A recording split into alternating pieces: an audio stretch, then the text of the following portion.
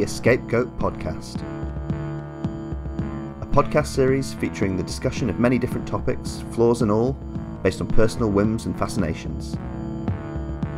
Hosted by me, David Blake Faggiani, and several different guests.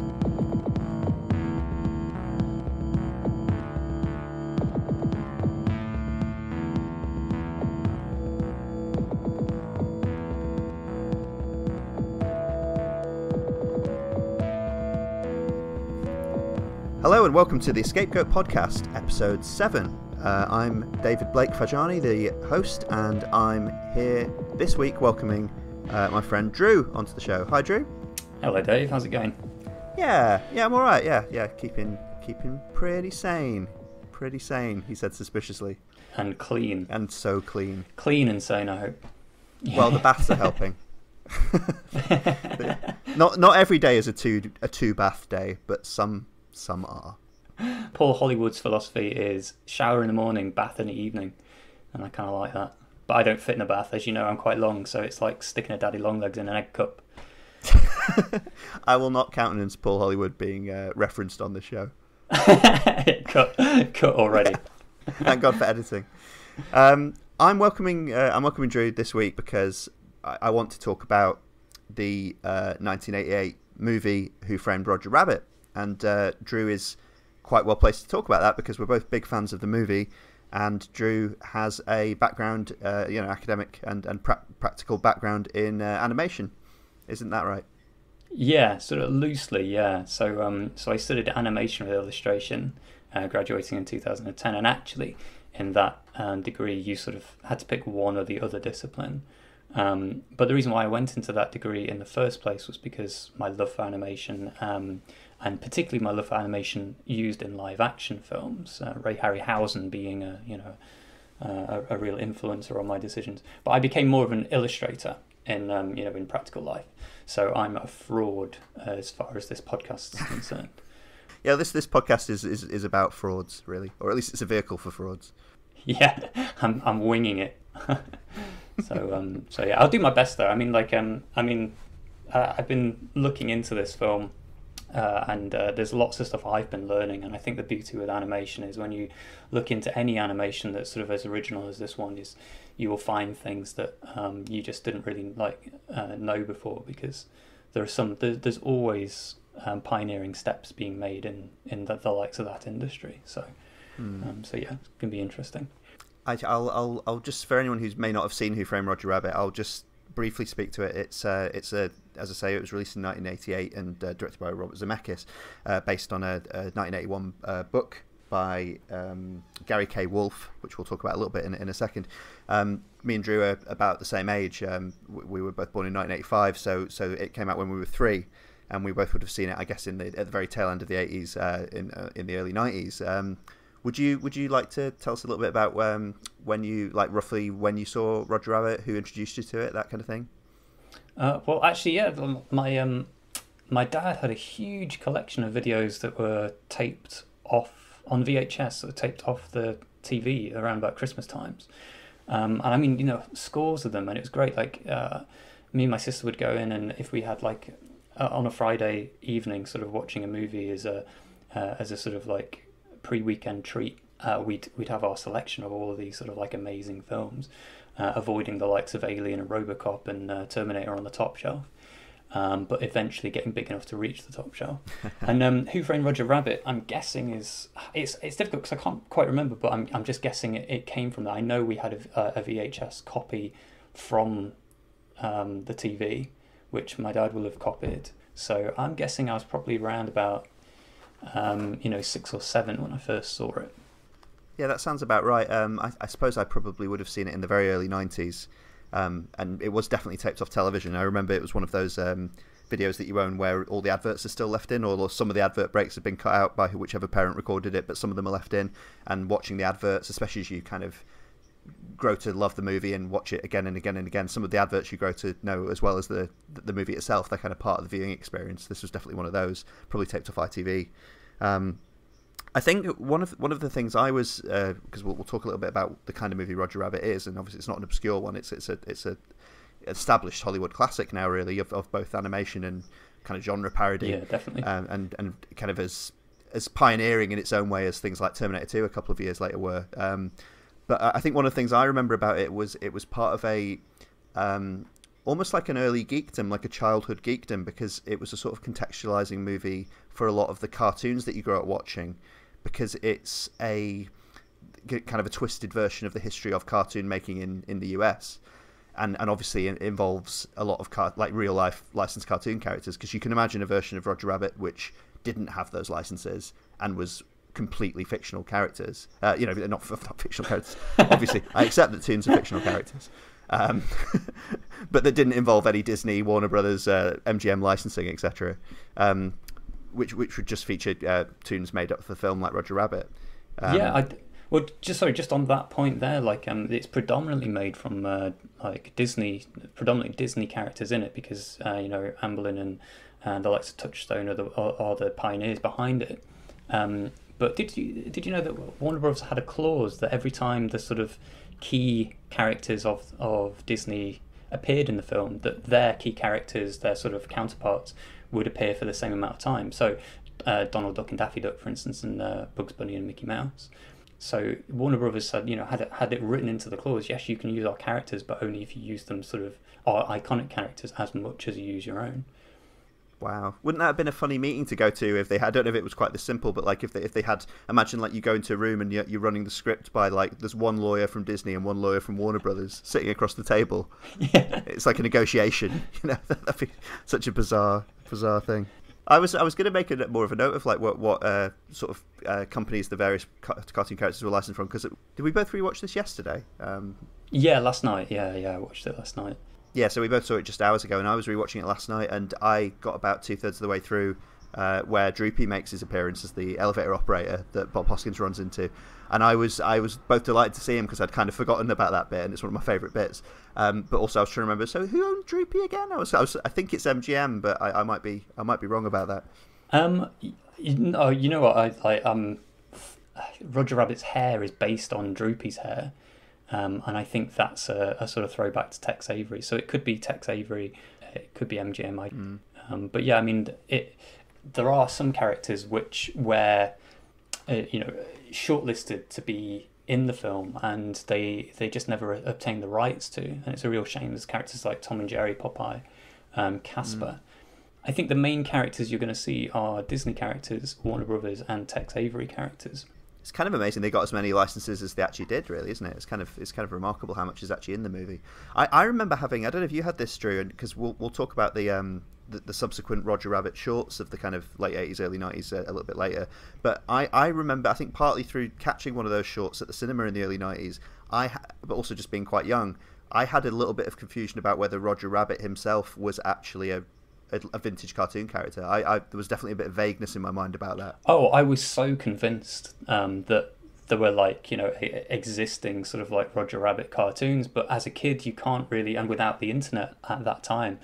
Um, you can't really just jump onto a computer and look that kind of thing up. You just take it on faith, and and I think that's real testament to how good the character design is, and um, and you know how because he already seems like an established character. You know, everybody already knows him, um, and the same can be said for a lot of original characters. Um, and I think uh, just whilst we're talking about that, Richard Williams, who was the animation director um, and voiced Droopy, he um, he got an award for um, for sort of original character design for for Roger.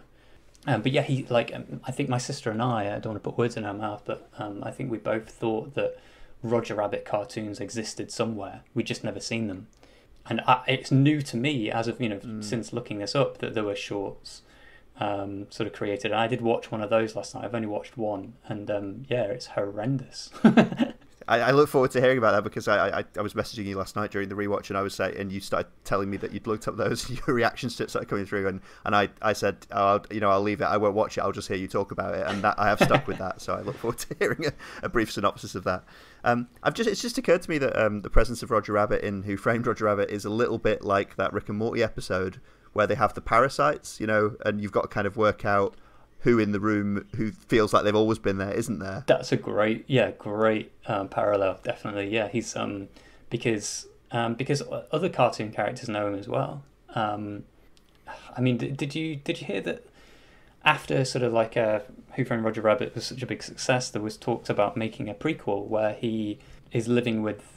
Uh, you sort of see a bit of, of his home life, and he's he's living with these live action parents, and then what he you know they they admit to him that he he's not their son, um, and so he goes on a quest to find his real parents, um, and it goes down this odd, if you'll excuse the pun, rabbit hole of um, Toons being recruited to fight the Nazis. No, Um, that sounds it- great. I know. I so wish it got made. But um, but yeah, like it's um, it's just kind of crazy that they um, they sort of hint at uh, Bugs Bunny being his real father, and there's there's a sort of origin story that's been roughed out somewhere that I would love to read, you know, the whole synopsis of. Um, but obviously that that never really sort of like came to light, and it's a it's a real shame. I think um, there were lots of sequels because it was such a big success, um, but because it was so much work, people just didn't really want to sort of like do that kind of thing anymore. It's a there's a there's a sort of expression amongst the animators. Um, it's not so much who framed Roger Rabbit, but who survived Roger Rabbit. It's like the apocalypse now of uh, animation crossover. exactly. Yeah. Yeah. yeah. I just wanted to, uh, before we get into discussing the, the movie a little bit more, because obviously some of our listeners may not have seen it, or, or some might be a bit a bit hazy on the on the sort of details and the plot structure of it. Um, I just wanted to talk very briefly about the book um, that it's based on, because I think it. I, I've not read the book, but I've, I've I've read a little bit about it, and, and it's it's interesting how some it is in some ways seems to be quite a different work, and some ideas don't quite make it into the film, and some do. Um, I mentioned it before, but it's based on the novel in published in 1981, "Who Censored Roger Rabbit" uh, by Gary K. Wolf, and it the film takes from the, the novel the fact that it is essentially a, a film noir, or rather a, a detective noir uh, novel structure um, imposed onto you know sort of toon Hollywood. So the basic conceit, the Toons are real uh, players and actors in classic Hollywood, uh, comes comes from the novel. The, the book seems to be focused on Toons in the sense of strip characters, you know, comic strip newspaper characters more. Yes, I've, I've read that, and they have like um, speech bubbles, which apparently don't disappear. They just sort of become litter around uh, um, around the streets of Hollywood. Yeah, and apparently part of the plot revolves around finding because because it's part of the plot of the book revolves around the the murder of Roger Rabbit or the, the perceived murder of Roger Rabbit, and some of it is to do with finding his last words in the sense that they find his speech bubble. Oh you wow! know, that's part of evidence, which is quite a nice thing. But it also kind of, in the same way that the film shows you, uh, you know, it actually opens with them making a Roger Rabbit cartoon, so it makes the industry real. It shows you how, you know, on a very surface level. Obviously, it raises more questions than it answers about this world, but it it shows you how they make cartoons in this world. Apparently, in the book, they deal with how they make strip cartoons, which is that they basically photograph these characters with their speech bubbles, and that's one panel, and then they'll set up another panel, and you know that they'll they'll say something and they'll photograph that, and that's panel two you know so it, it plays around with the ideas of what what animation is you know what it is frame by frame that kind of thing. One thing that i thought was really cool about the synopsis of the book um, was um, apparently apparently in that some of the plot revolves around the idea that um, that the detective in that encounters a doppelganger of roger rabbit who he thinks he thinks that's just a coincidence or a weird twin brother or something. And it turns out that the toons in that world in the world of the book because they perform very dangerous acts in the cartoons, what they do is they have the power to create essentially a stunt double. They can replicate themselves and they can create a stunt double toon which takes all the damage for them, which normally only lasts a few minutes. But in the, this, the plot that Roger, the murdered Roger Rabbit has created a duplicate of himself who lasts for days, and his purpose is to avenge Roger's murder, which I think is a really great detail. Like you know, like if they were to actually make a sequel to Who Framed Roger Rabbit, that'd be a great thing to work into it somehow. It sounds like a Black Mirror uh, plot, doesn't it? It's just this odd kind of like uh, transposing. Um, so, uh, are we are we assuming that this doppelganger has all the sort of existing knowledge or and history of the original sort of Roger Rabbit, um, or is this something which is purely just um, cannon fodder? It's just something which, oh, for the sake of the strip. you know, these are excellent questions. These are excellent questions, and probably would be better directed at someone who's actually read the book, um, which would be a great thing. I did read that um, Gary K. Wolf apparently wrote a, a sequel book to, to his novel uh, in the early '90s, but that came out obviously a few years after the movie. I guess when the movie was at the height of its sort of VHS popularity, and that does that sort of classic thing of apparently taking elements from the film and making them more more what the book's about, you know, sort of more film versions of Eddie Valiant and Jessica Rabbit, etc., and kind of kind of making it more that. And I, I, believe kind of retconning the events of the first book as a bit of a dream or something. And I, I also read that he's he's published a more, more, recent book, I think last decade, 2013 maybe, which also carries on the story in some way. This is all this is definitely stuff I'm going to look into, particularly with lockdown. Uh, there's no excuse now.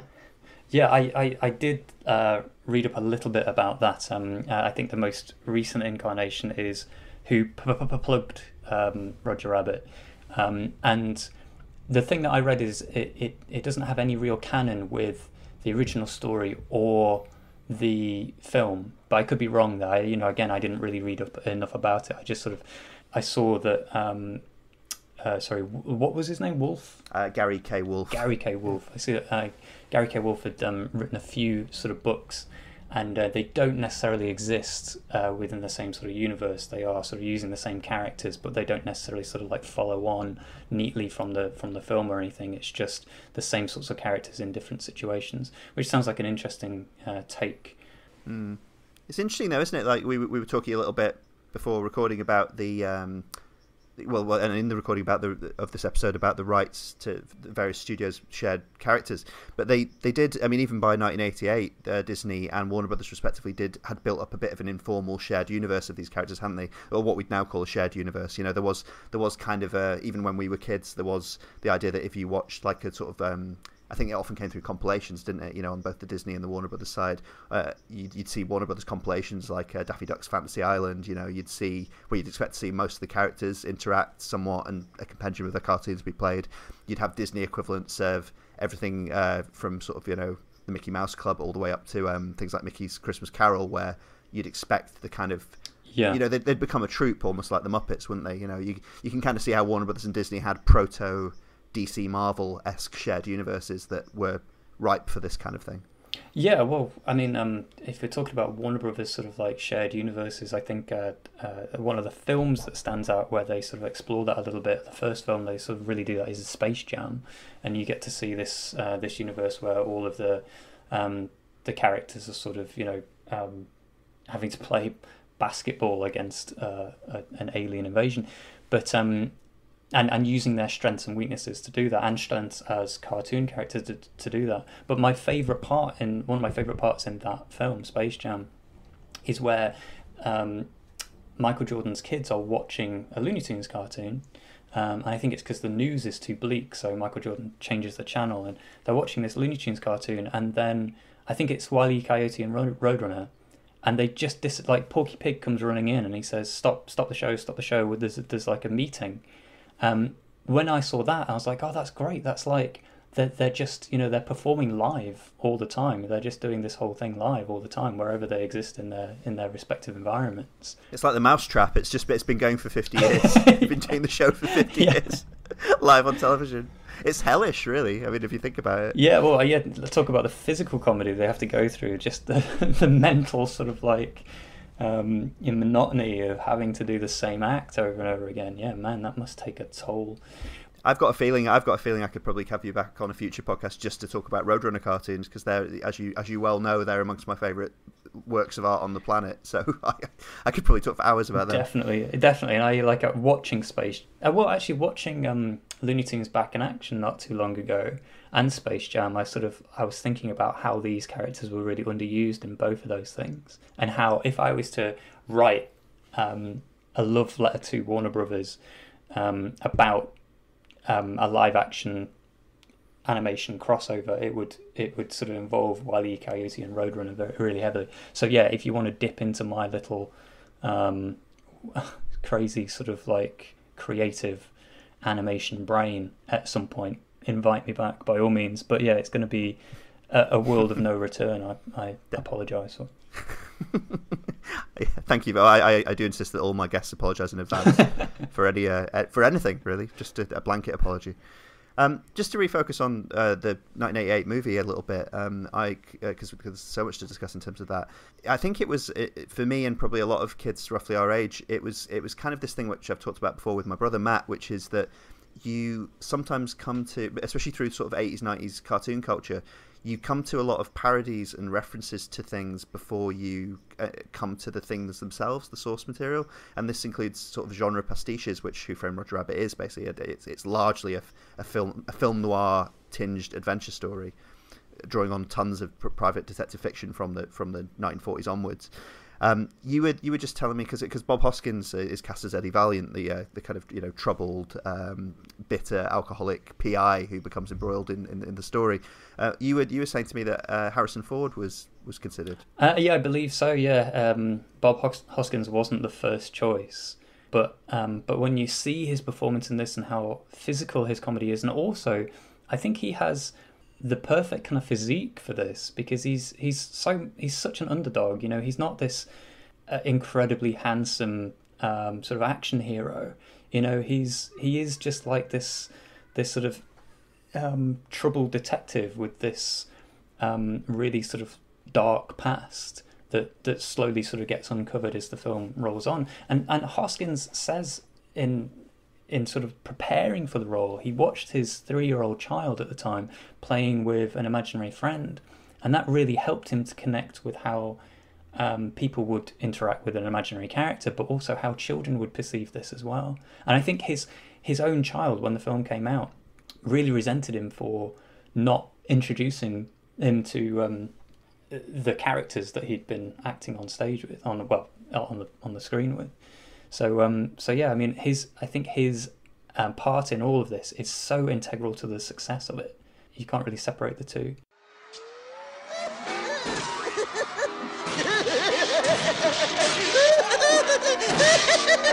Boy, did you see that? Nobody takes a wallop like Goofy. What timing! What finesse! What a genius! Ouch! We're supposed to be hiding. What's wrong with you? What's wrong with you? You're the only person in the theater that isn't laughing. Is there nothing that can permeate your impervious puss? Hey, Eddie! Boy, nothing. What could have possibly happened to you to turn you into such a sourpuss? You want to know? I'll tell you. A toon killed my brother. A toon? No. That's right. A toon. We were investigating a robbery at the First National Bank of Toontown. Back in those days, me and Teddy liked working in Toontown. Thought it was a lot of laughs. anyway, this guy got away with a zillion simoleons. we trailed him to a little dive down on Yoxer Street. Went in. Only he got the drop on us. Literally. Dropped the piano on us from 15 stories. Broke my arm. Said he never made it. I never did find out who that guy was. All I remember was him standing over me laughing. With those burning red eyes. And that high, squeaky voice.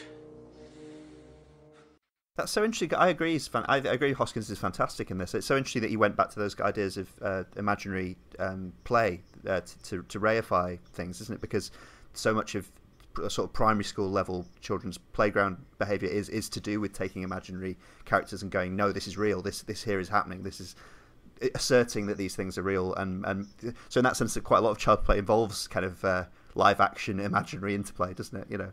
Um, the the reason I, I want to uh, mention the Harrison Ford thing was that obviously in '88, if you're casting Harrison Ford, you're thinking partly, of, oh, you know, largely of Star Wars for a family audience, obviously, but you're thinking of Blade Runner, which came uh, sort of six, seven years before Roger Rabbit, and that is that is its own version of um, noir pastiche, isn't it? In, in a sci-fi setting, but it, it's to do specifically with uh, the interaction of humans and another created race. You know, in the, in, in the case of Blade Runner, uh, replicants.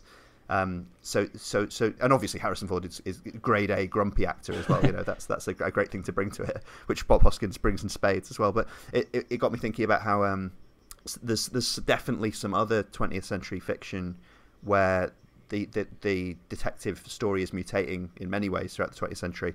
But one of the things that is touched on as early as the 1950s with Isaac Asimov's um, robot novels is is the idea of the private detective twinned with a stand-in for essentially a social or ethnic minority that he doesn't necessarily gel with that well, or maybe has prejudices about, and is forced to collaborate. You know, that's that's that's that's one of the things that Roger Rabbit and and also Blade Runner in a sense is is, is drawing on.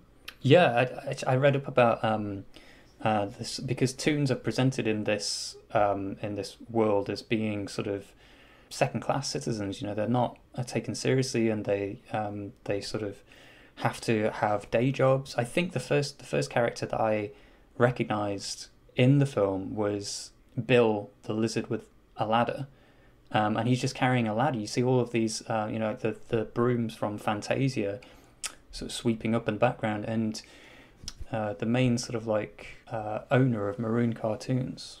But he talks about sort of paying them peanuts as well, like, and he throws some peanuts out the window for Dumbo. Some literal peanuts of Dumbo, who yeah, he's he's just he's hired from Disney. He's on a, a sort of contract loan. Yeah, yeah, yeah, and it's and it's they're just sort of delighted at how cheap this uh, this sort of labour is, and it's labour, you know. It's essentially they're sort of um, they're getting these um, characters to to work for very little money for very big profit, um, and that that eventually goes back to um, you know the the main arc with the plot is to um, get this uh, spoilers coming up, get this um, infrastructure sort of like created through what we know, what we understand to be Toontown, um, and the parallels between uh, the sort of impoverished areas of uh, Los Angeles and how they kind of just want to. Well, there are there are bigwigs wanting to wipe that out and um, and develop it, versus um, the rights that these mm.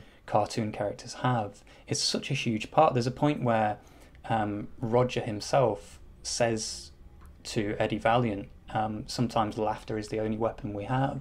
And he's literally standing on a soapbox as he says it. Mm. You know, it's it's not subtle. It's it's very much about these um, these prejudices that people hold for communities that um, that are considered sort of you know second class. So mm and it's interesting. I, I, mean, that's that's a really good observation. I think it's an unusually left wing movie in that sense. It it stops short of calling for a uh, unionisation of the labour of the toons, doesn't it? Because you're right, we do see almost every toon we see is basically working class. You know, even even Jessica Rabbit is singing for a living in a nightclub. You know, uh, Betty Boop's waitressing. You know, the, the idea of the the semi-retired toon as well from Hollywood. You know, it's not that they're all working in showbiz roles anymore.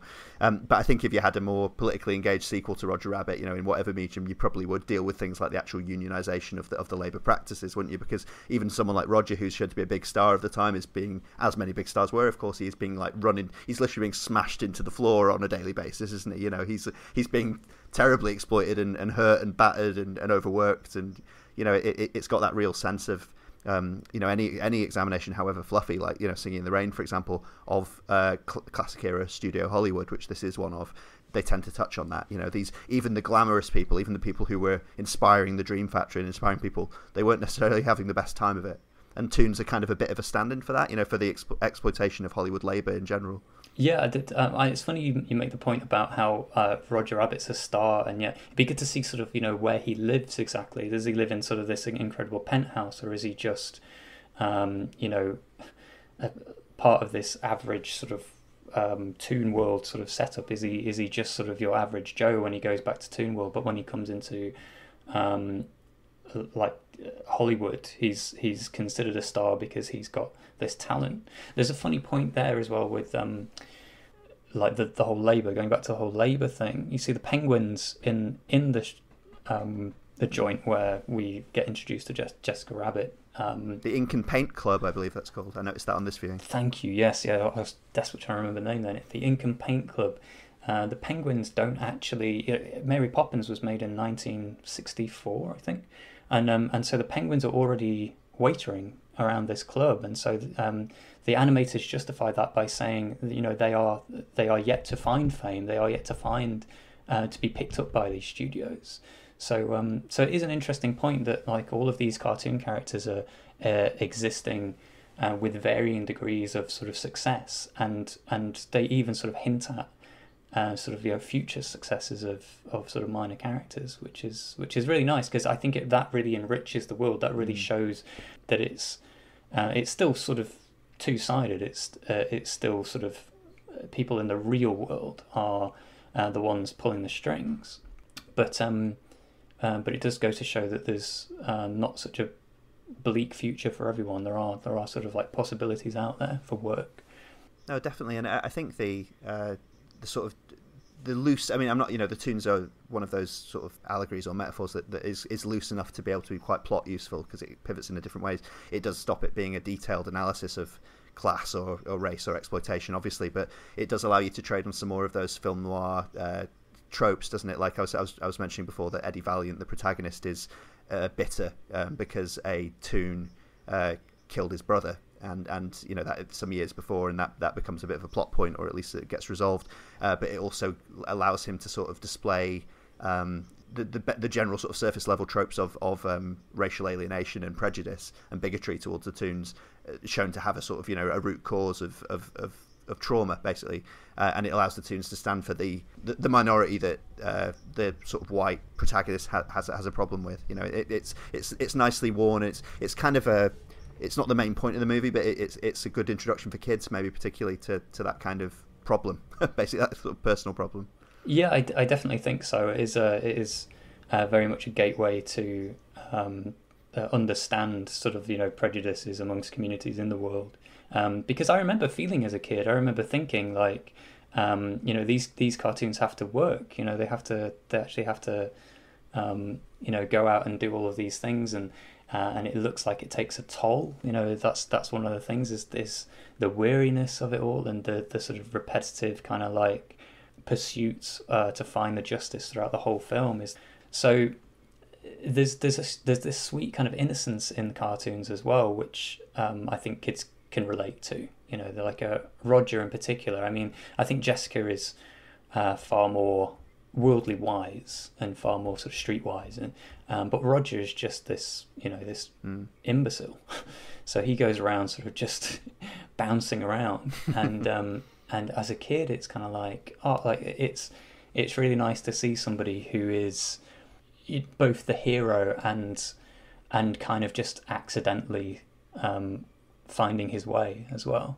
Mm. Yeah, and you're right. The sort of the, the you know we all know couples where one or other of the couple are a bit like that, where one couple is the is the one one one member is the person who deals with the world, and the other one just does their act basically. You know, and obviously some couples shift between those roles depending on, on what day of the week it is.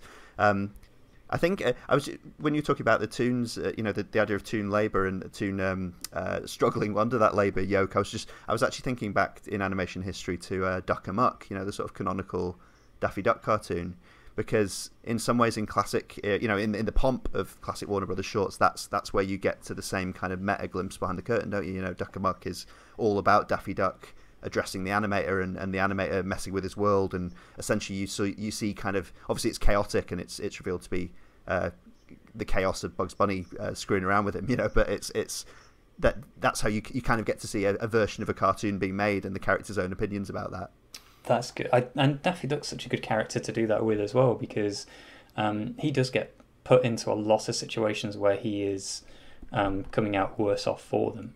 Um, there's a really touching moment in um, Looney Tunes back in action, which I think I told you about uh, previously. Like it, it frustrated me because they didn't expand on it. But there, and the whole trope throughout that film is is Daffy is feeling, you know, fed up with always having, um, always having these things dropped on him and uh, custard pies in the face, and um, well, or getting his beak shot backwards, blown up with dynamite, and um, yeah, yeah, or, or, or, by Donald Duck in this film. Yeah, yeah.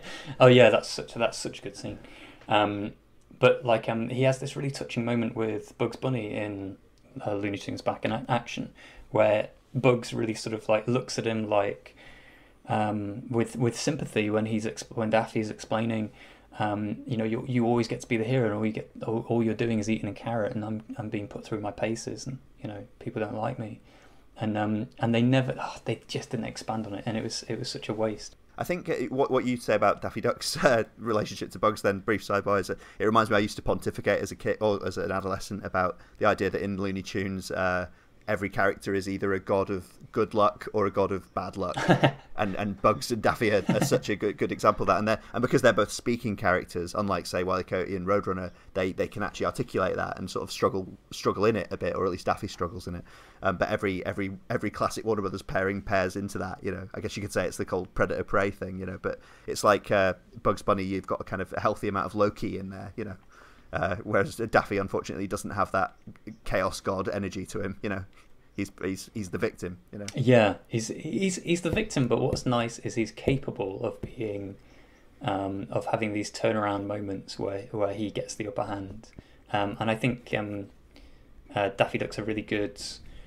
Um, when we're talking to sort of like um, talisman characters of Warner Brothers and Disney, the scene that springs to mind is like one of the first scenes is that that scene you mentioned with Daffy Duck and Donald Duck playing the pianos, like Daffy Duck being sort of capable, and we know that he's capable of getting the upper hand sometimes. Yeah, it's the it's the Alien versus Predator uh, scene of of the of the eighties, isn't it? You know, it's that thing where you get what you know you didn't know you wanted as a kid. You get this like brief uh, conflict. It's Cloverleaf that wants to get their hands on Toontown. They put in the highest bid. And unless Mr. Acme's will shows up by midnight tonight, Cloverleaf is going to own Toontown. What? At midnight tonight? That's right. First they buy the red car. Then they want to get their hands on Toontown. I don't get it. Roger.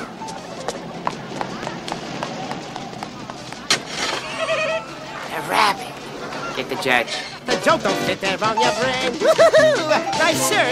Who's your tailor? Quasimodo? Woohoo! My buddy, very D. A sour puss you'll see. But when I'm done, he'll need no gun to the joker. He will be C D S T H I I love to raise the pain. Believe me, it's no strain. It feels so great to scratch a plate and look there is no pain. No pain. No pain. No pain. No pain. No pain. No. So, I mean, in terms of the of the of the '88 movie of, of the Who Framed Roger Rabbit movie, um, I was thinking it, it's interesting, isn't it, that the the, the plot involves uh, Eddie Valiant uh, teaming up, well, not teaming up with Roger, but, but becoming Roger's protector and uh, helping him through initially through a, a, uh suspicion that his wife's cheating on him, which uh, the investigation into that uh, and his presence at the nightclub triggers the the rest of the plot, which is um, that um, Marvin Acme, uh, who in this is a kind of uh, uh, studio mogul, you know, is is is apparently murdered, and this this uh, this triggers the main plot, which is is, is about the um, the framing of Roger for this. Th- you know, his jealousy about his wife is seen as the motivation, and they are essentially on the run and trying to clear Roger's name, and this this leads to a whole bunch of other other angles in the story. In this in this section of the movie, you meet the pretty obvious antagonist of the movie, and and and more is revealed about as you go through, which is Judge Doom, Yeah, played uh, by Christopher Lloyd. I was thinking in terms of in terms of Robert Zemeckis' filmography. Obviously, in 1988, he was coming off the back of uh, of of the Back to the Future films. I think uh, he had he made. I think he'd made all three Back to the Future movies by this stage. I'm not sure if they'd all been released. Uh, I know Back to the Future was like 85, and the other two, the the two sequels were filmed back to back, weren't they? Um, so Ro- Robert Zemeckis was flying high, and also obviously Christopher Lloyd uh, is is in those movies, and this is a, a much more villainous role for him. What are your what are your thought in, in terms of what we've already discussed? Uh, what what your thoughts on Judge Doom as an antagonist in this movie?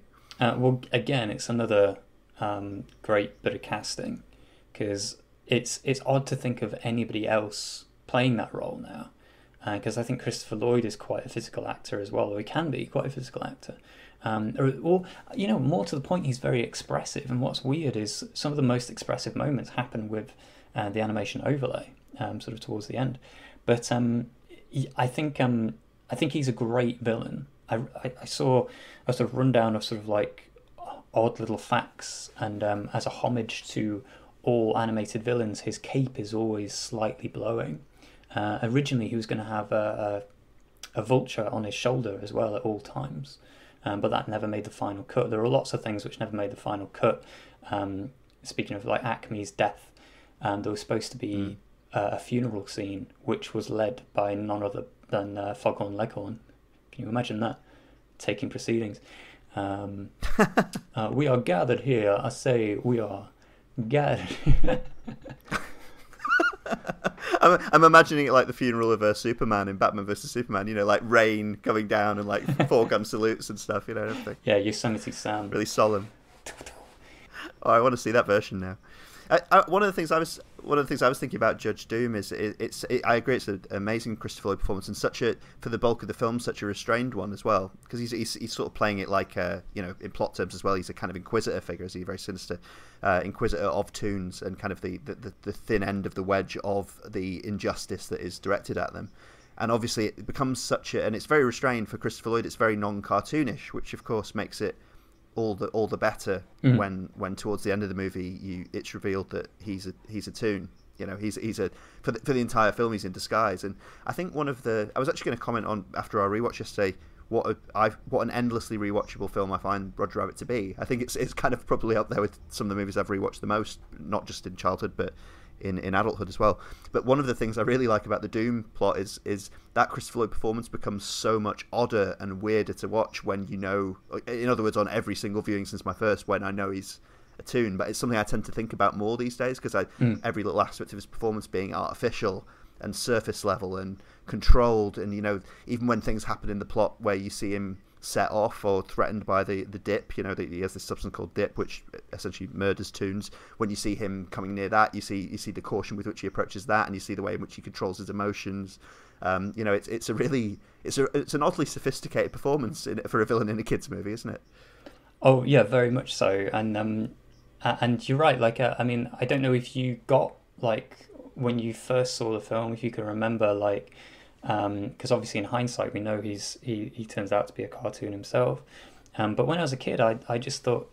I never, I never made that connection, you know. I never looked at him and immediately thought this guy is a cartoon. I just thought he was a bit odd, or maybe he'd been, uh, maybe he had a resentment for cartoons because he'd been um, hurt or harmed in some way, uh, the same way Eddie Valiant had, but it was a different take. It was like Eddie Valiant was acquiescing to uh, the fact that cartoons existed and that acquiesces to helping them, whereas Doom just seems to loathe them. You know, he just seems to hate them, and that's uh, that's uh, almost immediately evident when he um, when he introduces the idea of the dip, and he, he kills that innocent shoe which is a hor- horrible scene. So so like uh, Oh you know God. I watched this, by the way. I I watched this on Disney Plus last night, and uh, I can confirm that the full unedited version is the version on Disney Plus because the version we had taped on ITV isn't it? Isn't it a bizarre idea even twenty years ago to imagine the idea of ITV censoring a scene where a shoe, an animated shoe, melts? yeah. But they did, and and it's because it is disturbing. It's really disturbing. I, I, I think I, I'm like you. I like I had this recorded on VHS, so I hadn't seen this uh, shoe dipping scene until you know more recently in, the sort of more like the last decade uh, on rewatching, and um, it, voiced by Nan- Nancy Cartwright, um, sort of pre Simpsons, which is interesting. Is that right? Yeah, yeah. The shoe is uh, shoe squeaking is Nancy Cartwright. Um, so uh, she's cutting her teeth there, um, and and it, it is kind of like it's hard to watch because the shoe is really innocent, and there's there's no reason to kill it as well. That's the thing that sort of comes across, and that, like the dip, just for the um, the sake of audiences, it's um, it's this paint thinner acetone sort of like uh, all of all of those sorts of things that destroy paint and ink, uh, just horrible concoction, um, and it's solely sort of created by Doom for the for the purpose of executing toons.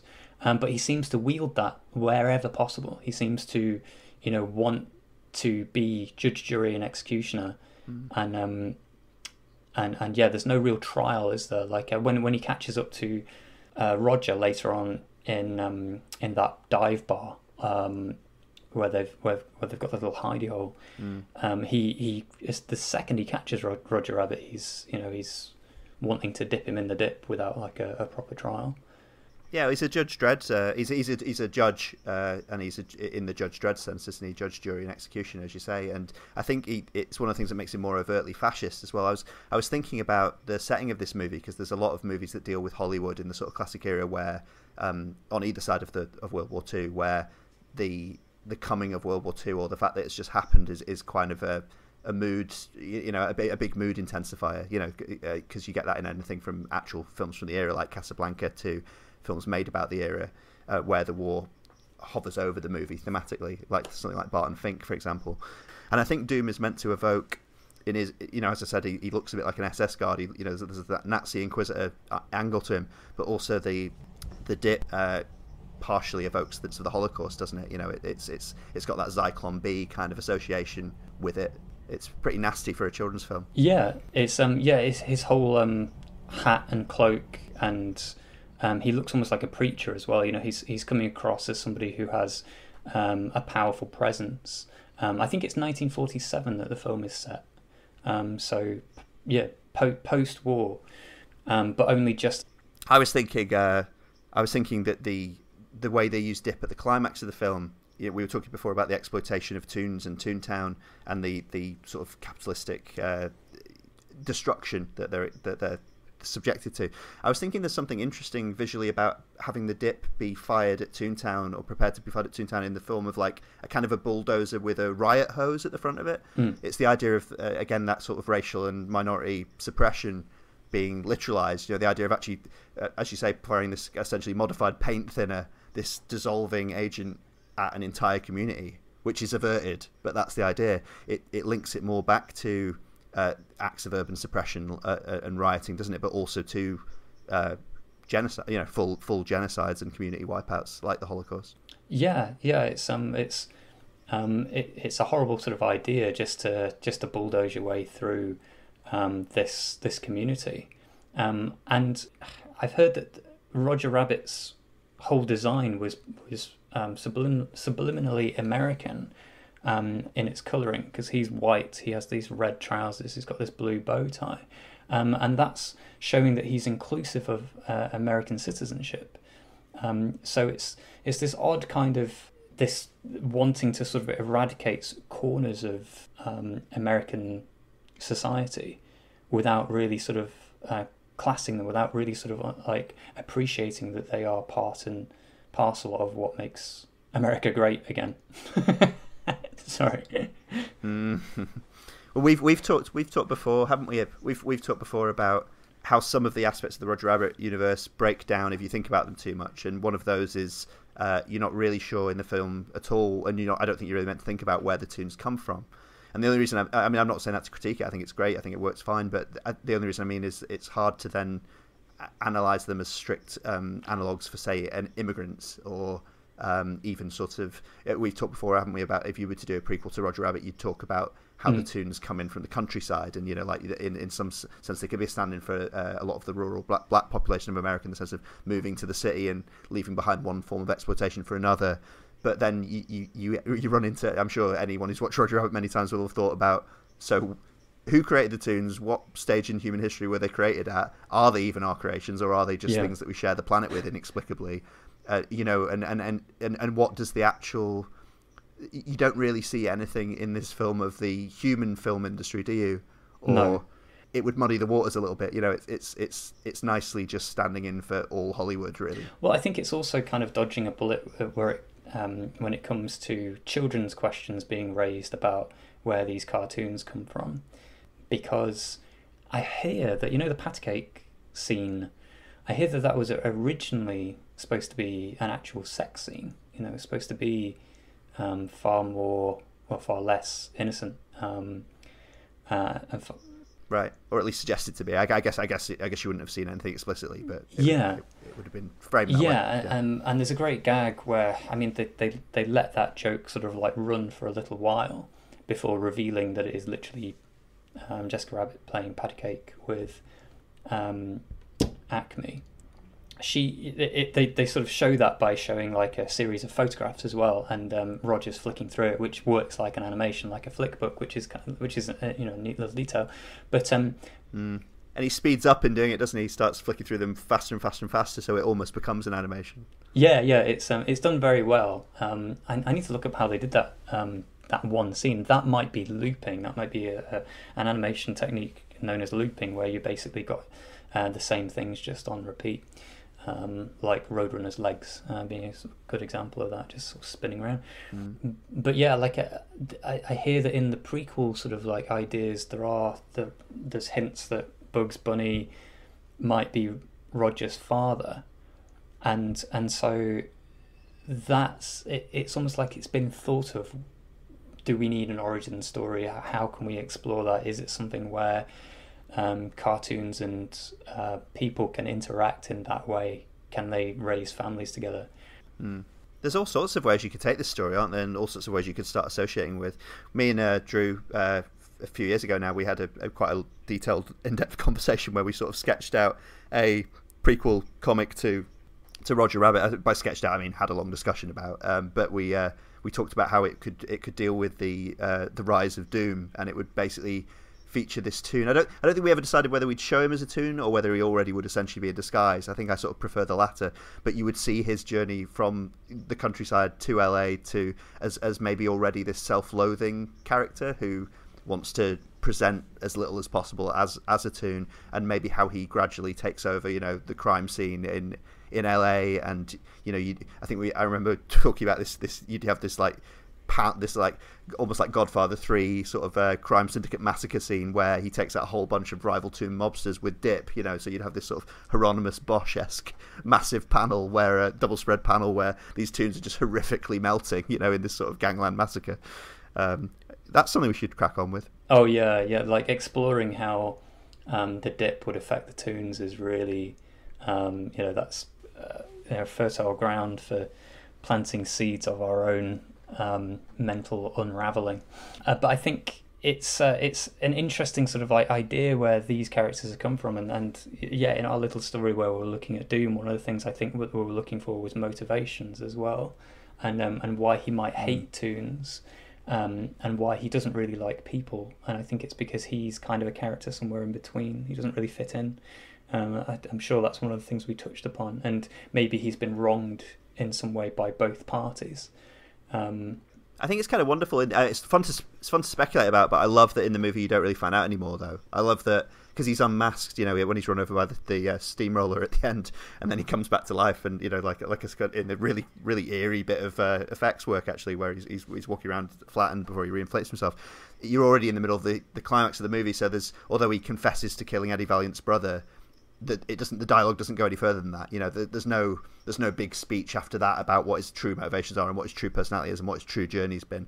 It's, it's which is partly why it's so wonderful to read into isn't it? Yeah yeah i think it's um uh, it's definitely uh, one of those things that that doesn't need to be stated any more than it is because i think again christopher lloyd's performance of this is so uh, in those final moments. I, you're right. He's been reserved so, so much throughout that point, but then when he breaks out and uh, reveals that he's a toon, it's suddenly like really sinister and really.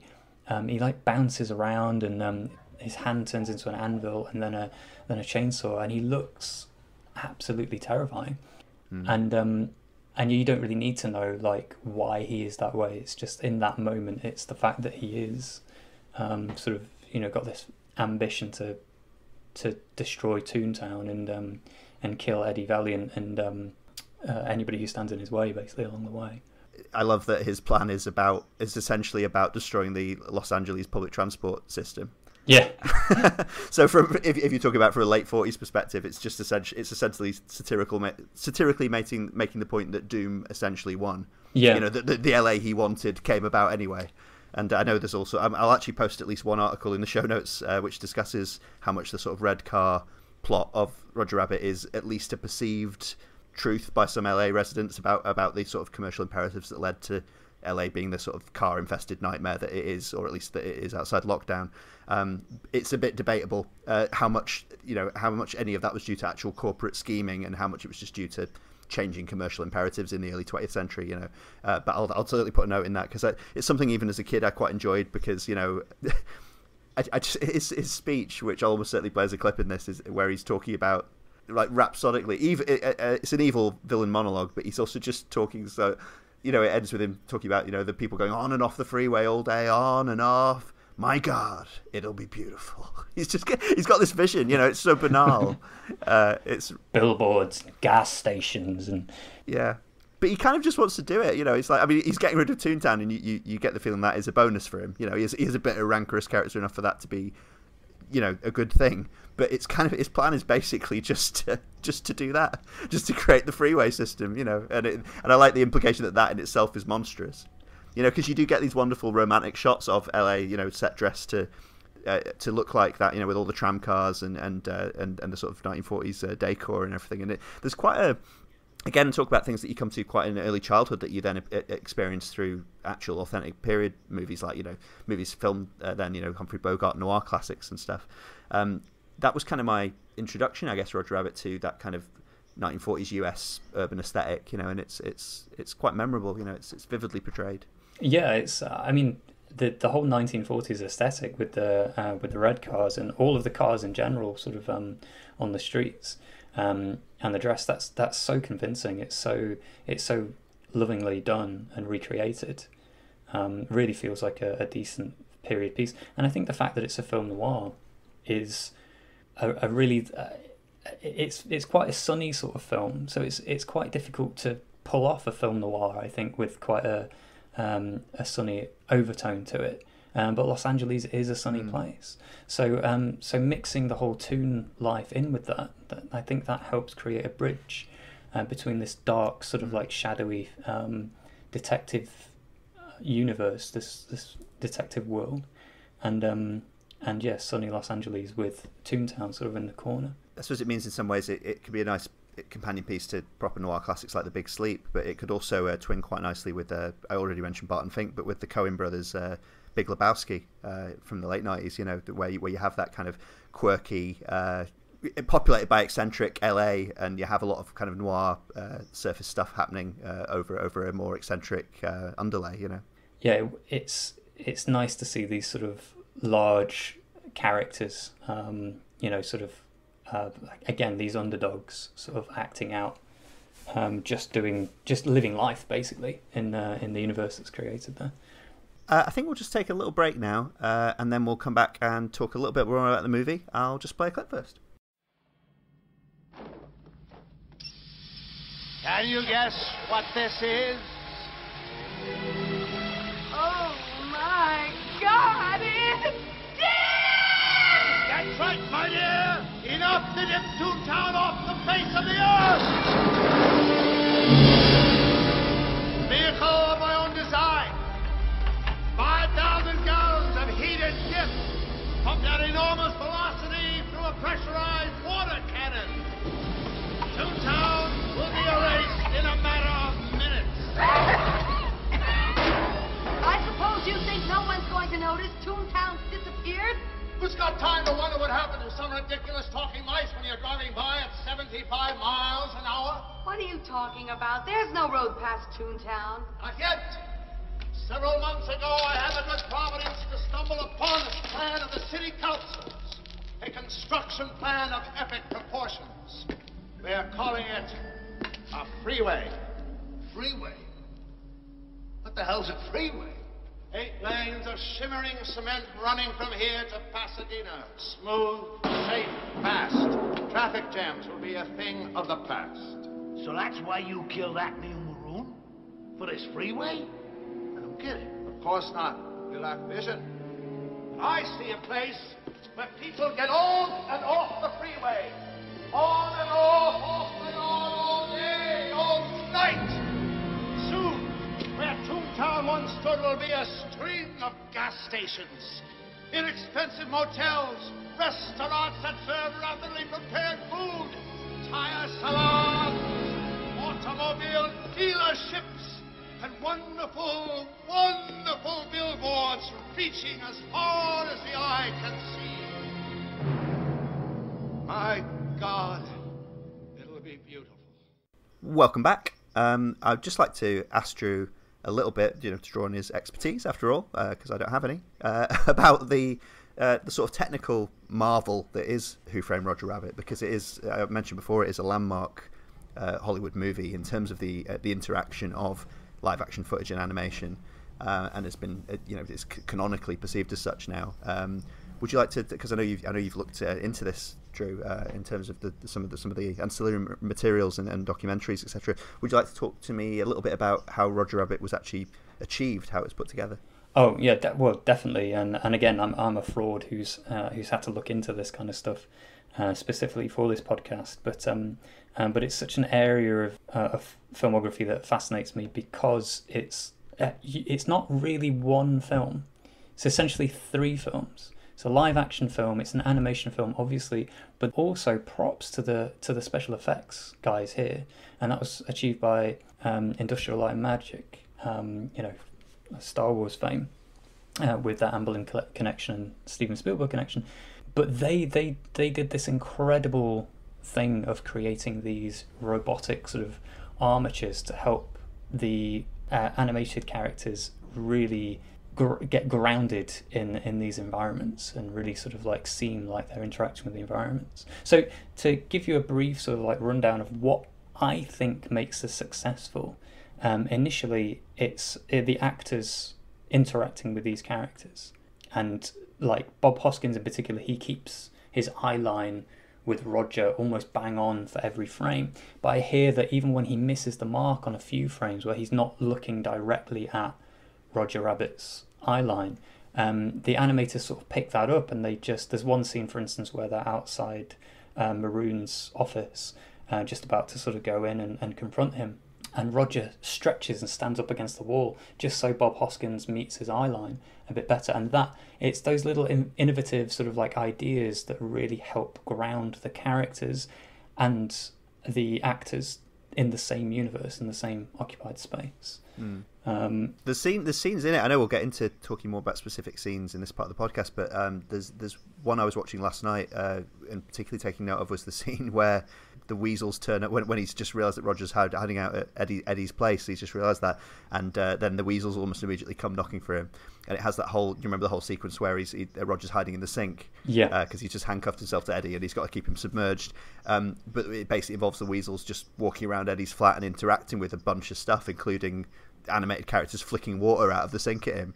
And that that scene, I, I was. Uh, uh basically every other scene in Roger Rabbit leaves me feeling like this with, with much much less of knowledge of how it was done. But I was just I was almost open mouthed for that whole scene. I was just like, how is any of this happening and looking this good?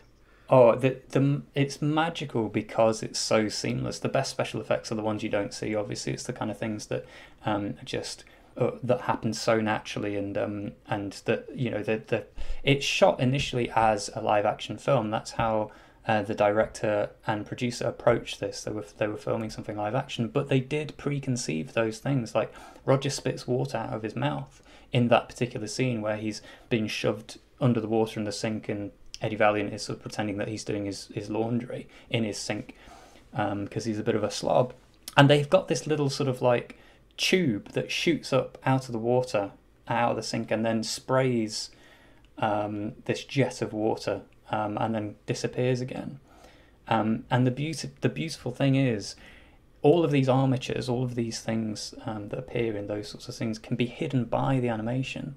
So ILM really sort of like went to town with um, preconceiving some things um, and understanding exactly how the characters were going to be. I think they, they even acted out like twice. First of all, with like these rubber puppets, to sort of give a vague idea of where the eye line should be, and then second, um, in a secondary sense, with all of the special effects sort of like happening and puppeteers sort of like puppeteering things like the guns in that scene sort of moving through space. So yeah, really, it's a real masterclass. It's fascinating, isn't it? Because I, I mentioned, I briefly mentioned Terminator Two, uh, which came out what four years after after this, um, after Roger Rabbit, um, and and you've seen. I'm thinking particularly of the sort of post Lord of the Rings, you know, Andy Serkis Gollum motion capture stuff, but also of more recent Marvel movies. Uh, well, everything from the uh, Sam Raimi Spider Man on, really, but particularly the more recent MCU.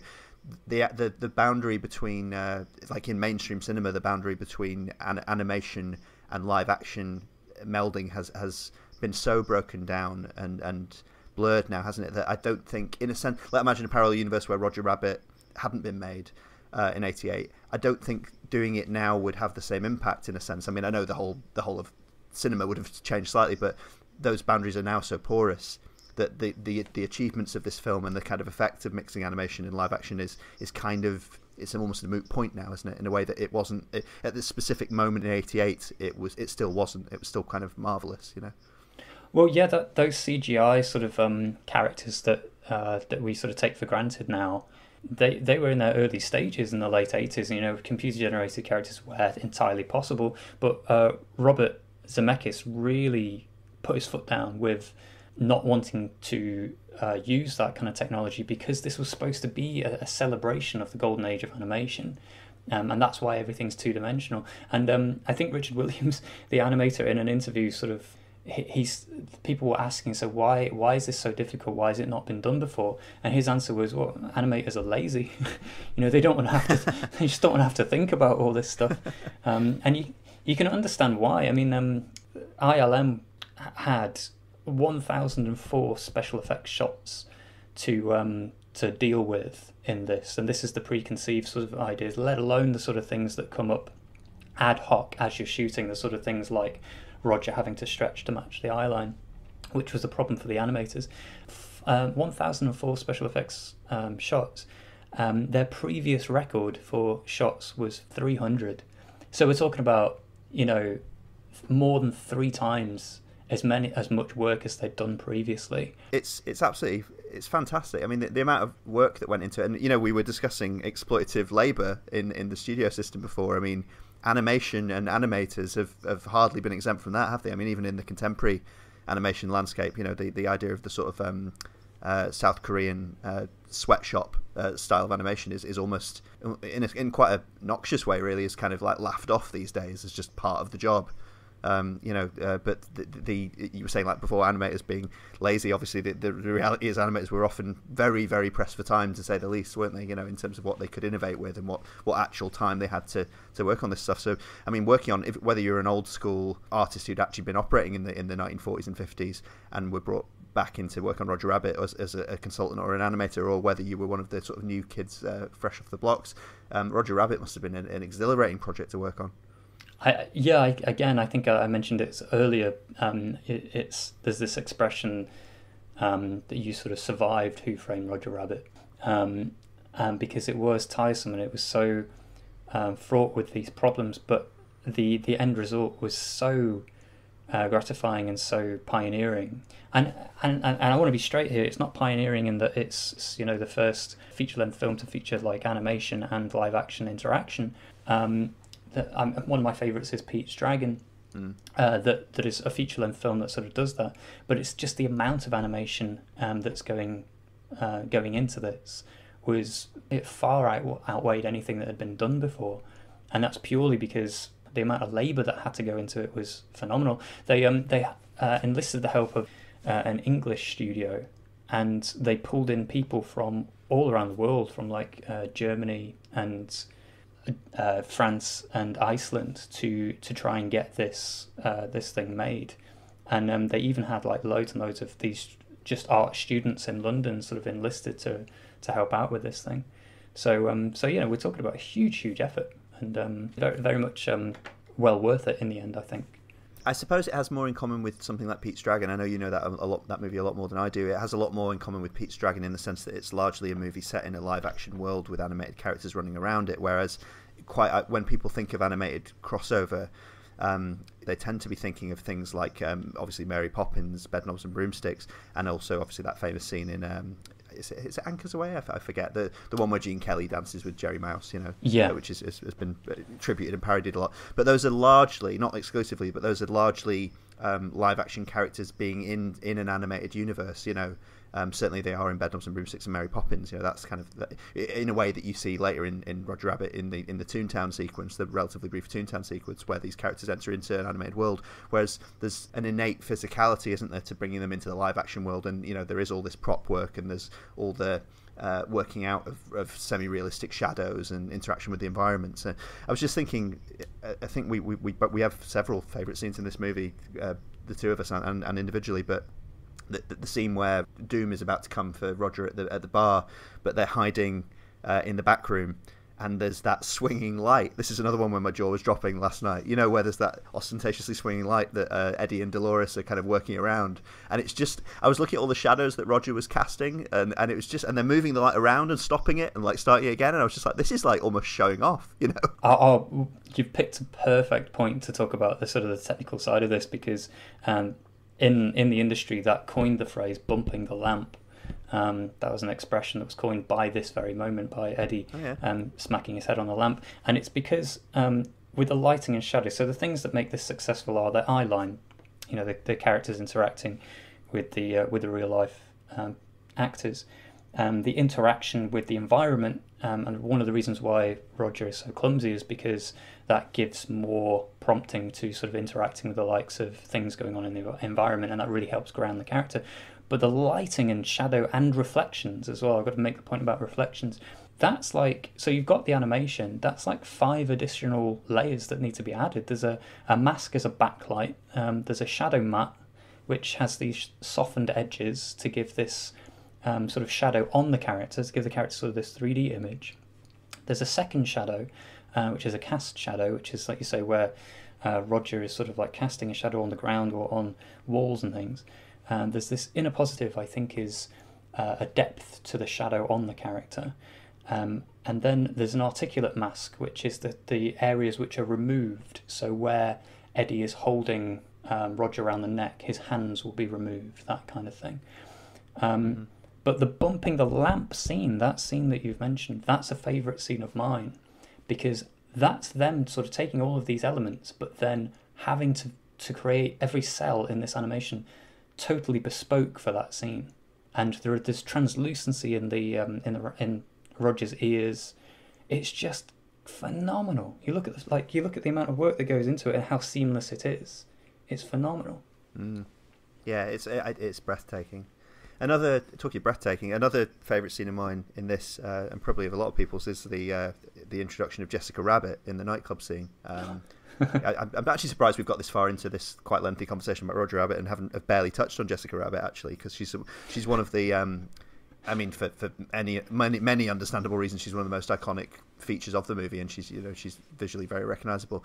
It, it's in rewatching that scene, it, it's so fantastic because it, it's it's actually the scene where Eddie's gone to the club and he's he's um he's been watching the uh, the Donald uh, Daffy floor show, you know, and, and he's met Betty Boop as, as the waitress and stuff, which is a, a nice way to drop some black and white animation in. Yeah, you know, that's another one. You know, we talked before about the world of Roger Rabbit um, works as long as you don't think about it too much you know what what exactly were black and white cartoons in this world you know why is why i understand historically why betty boop is in black and white and why she's now retired but what what are black and white toons? you know what is that that, that voice actor was um, mae questel um, but she was one of the original betty boop um, voices um, and oh is that right yeah when you see the behind the scenes sort of show she's you know a lady in her 80s i think so she was sort of like pulled back in to do this and uh, and that that's a real sort of homage to those those cartoons. And and you're right, that Betty Boop scene is really really lovely because um, because it's done quite respectfully.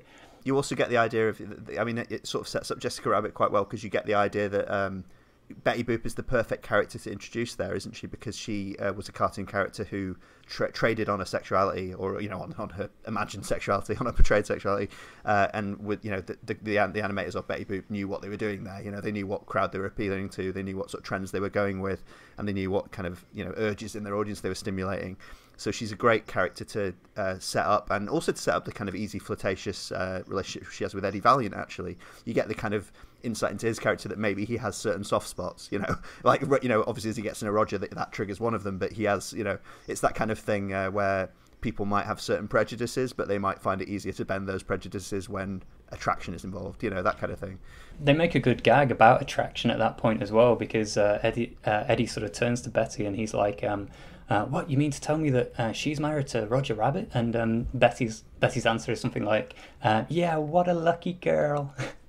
what a um, lucky goyle. yeah.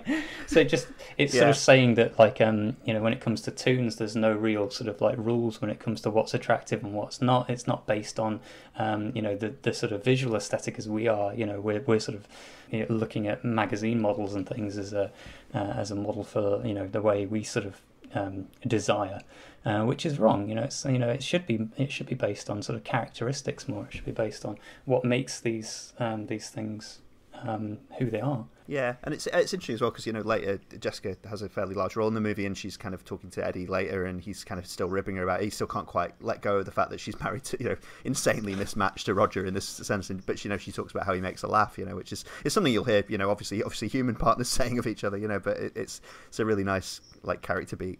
Um, it, it's it, Jessica's so interesting in the movie because she's she's obviously another cartoon character made up for well from partly from the book, but also made up for the movie in in, in the way that you know Roger and, and Baby Herman are.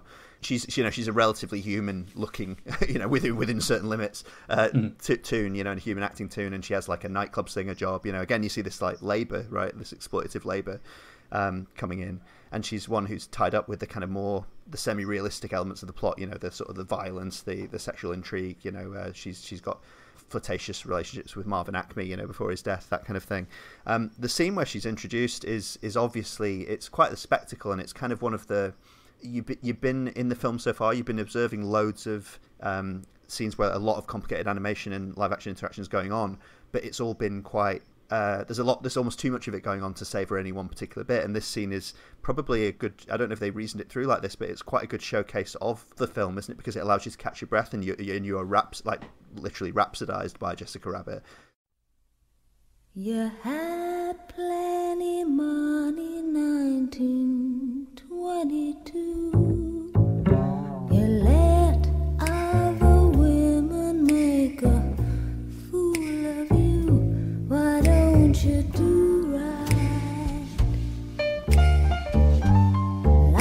Some other men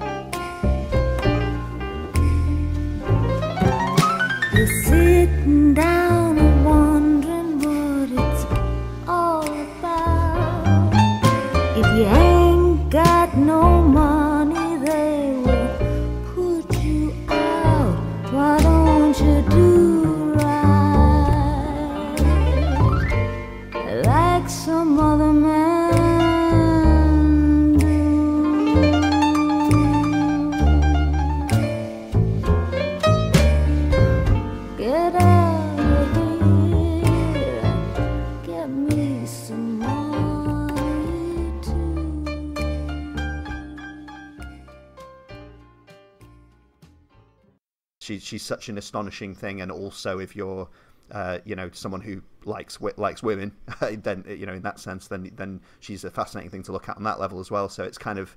It, it really captures your eye uh, in every single sense and lets you and the camera's very fluid in that scene as well you know the camera's moving around uh, uh, the, all the angles are changing the, the, her interaction with the audience you know uh, she's not just up on a stage it's not this static kind of uh, peep show um, so yeah yeah it's, it's just a it's just a real a real showcase again in a film stuffed full of them I, I think um, Jessica Rabbit is. I don't think she's a weak link in this, but uh, because most of the scenes she's in are, are, are really good scenes, but that scene is a standout scene um, for its technicality um, and for that um, sort of like elaborated sexuality and all of those things that play between live action and the animation aspects.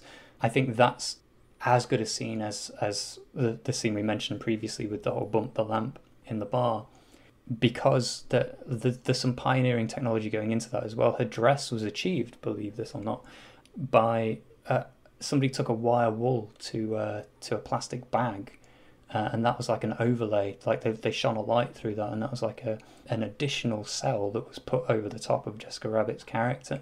So um so they've really thought about how she's gonna look and she sparkles in this scene and her introduction is incredibly evocative of you know that that kind of like desirability Mm, Well, and Kathleen Turner's voice is so distinctive, and uh, Kathleen Turner had already been in. Uh, oh, I can't remember the name of it now. That that that. By the time Roger Rabbit came out, she, a few years beforehand, she's in a uh, quasi noir uh, movie uh, co-starring with Jack Nicholson. You know, so she's and, and she's very much the femme fatale in that. Actually, she's, she's kind of an assassin. Prizzi's Honor. That's that's the name of the film. I'm glad I remembered that in time and didn't have to insert it later.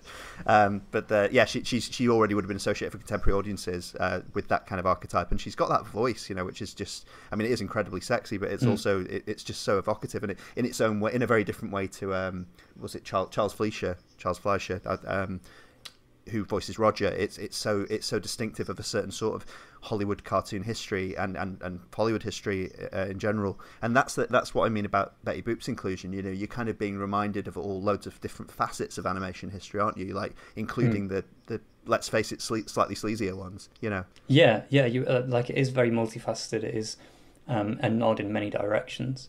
Uh, and yeah, this is this is one side of things, which fits fits in again with that film noir idea of a sleazy sort of underground bar and how these toons are trying to find work. And Jessica Rabbit is uh, you know this this performer in this bar. Um, uh, like I'm just going to make a point. Spielberg's wife, um, Amy Irving, was actually singing that part. So it wasn't Kathleen Turner doing the singing part of um, Jessica Rabbit's voice. Is that right? Yeah, and both both are uncredited. I don't know what. Is Amy Irving is Amy, is Amy Irving the woman uh, starred in Temple of Doom? Asking a guy who hasn't seen Star Wars. Um, I'm, te- uh, I'm terrible when it comes to film history. Maybe, um, maybe I have to look up Amy Irving. But she was married. I'll look that up. Yeah. Married to Spielberg at the time, and she was the she was the voice in the singing parts, and then Kathleen Turner was uh, she's an uncredited voice of Jessica Rabbit, and that's because she chose to be because she'd come off the back of I think *Romancing the Stone*, which um, oh yes, she was in that earlier in the eighties too. Yeah. Yeah, and that's another Zemeckis film, um, and I think she just didn't didn't want the association, so she she, she chose not to be um, credited. Um, The, the, the, the, the, career, the careers of some of the people in this are, are so fascinatingly linked into Roger Rabbit, whether deliberately or not. I was I was actually just thinking before when we were discussing Bob Hoskins and Christopher Lloyd. Um, they both, within a few years, went on to play arguably cartoon characters because. Uh, I mean, Christopher Lloyd explicitly in the sense that he played Uncle Fester in the Addams Family movies that came out a couple of years after these, the Barry Son- Sonnenfeld ones. Sure, yeah, but yeah. also, I mean, you could say Christopher Lloyd is kind of a natural cartoon character in some ways, but he, he, there are bits of the Judge Doom performance, little bits that remind me a little bit of, of the Uncle Fester character he's about to play. But then, obviously, um, we talk about people barely surviving Roger Rabbit. Um, Bob Hoskins, of course, went on to be in the Super Mario Brothers movie, which I think is a work of genius, but I, I'm aware I'm in the significant minority there. Um, I need to rewatch that. Um, uh, man, yeah, he's uh, he's again good casting, uh, right kind of physique. But um, but yeah, what a weird movie that was. Like I, I can barely remember anything about it, but it wasn't the happy, cheerful sort of Mario Land that we know and love on the. Um, Yeah, I mean, I will allow. Don't get me wrong. I will allow that the Super Mario Brothers movie is not quite the technical masterpiece or storytelling masterpiece that Roger Rabbit is, but I'll leave that. I'll leave that for a future episode. Has its moment. I mean, obviously, another another fantastic sequence in the movie is the uh, the car chase uh, bit with involving Benny. You know, the cartoon car, uh, and technically, I've just got no starting idea of how they did any of that. Oh, it's it's crazy because I mean all the other um, sort of effects uh, are you know very much grounded on the basis that you can move around a, a set. Essentially, there's a lot of control there, but they actually created like a go kart uh, that Bob Hoskins was strapped into um, for a lot of the chase sequences with Benny, um, and um, and it's terrifying when you see it played without the animation overlaid um, on top of it because you've got to remember the, the, the film is running at uh, 24 frames a second. Um, what the animators do then is they get still images, black and white images of all of those frames. They create a pencil sketch of roughly um, the areas where the, the characters are going to be placed in. Um, that gets approved, cleaned up, coloured. Um, then you get the ILM sort of like adding the reflections and shadows and things like that. But with that scene, because it's moving so quickly and it's on the street, it's literally on the street, um, when you see video footage of Bob Hoskins just being thrown around with this guy in a go kart sort of under him driving around, it looks terrifying. And he was uh, he was said to say that it was you know he, he he wasn't like a stunt actor by any stretch, and that was that was something that really tested him. That was something that he was really worried for. Uh, there's actually little um little facts for you here.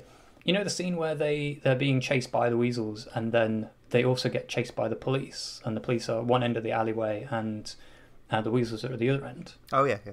So in that scene, there's a moment where the car spins around, like rapidly spins around the taxi cab, and um, Bob Hoskins is actually an animated character in that. He's he's drawn. It's Oh, wow. it's for like a few seconds, but he's drawn in. He's like there's because there's no way they could have, you know, sort of Yeah. uh, put put him through the centrifugal force that would have you know the astronauts have to do before they're Yeah. uh, fit to fly up to the international space station or whatever. It's Hmm. it it just looked like a really sort of like impossible um, stunt, so they they animated him in. It's crazy. That's so that's so fun because it's uh, it's in its own effect. Obviously, it's valid as an effect in the movie, but it's it's uh, it's also uh, like almost a cute example of them admitting defeat, isn't it? Or like at least admitting the limits, you know. Yeah, Oh yeah, yeah, definitely. And um, and when you see, when you see like a still frame of it, it's like it's clearly um, Eddie Valiant's character, but it is it's also stylized. It's not like they're trying to they're not trying to make him look as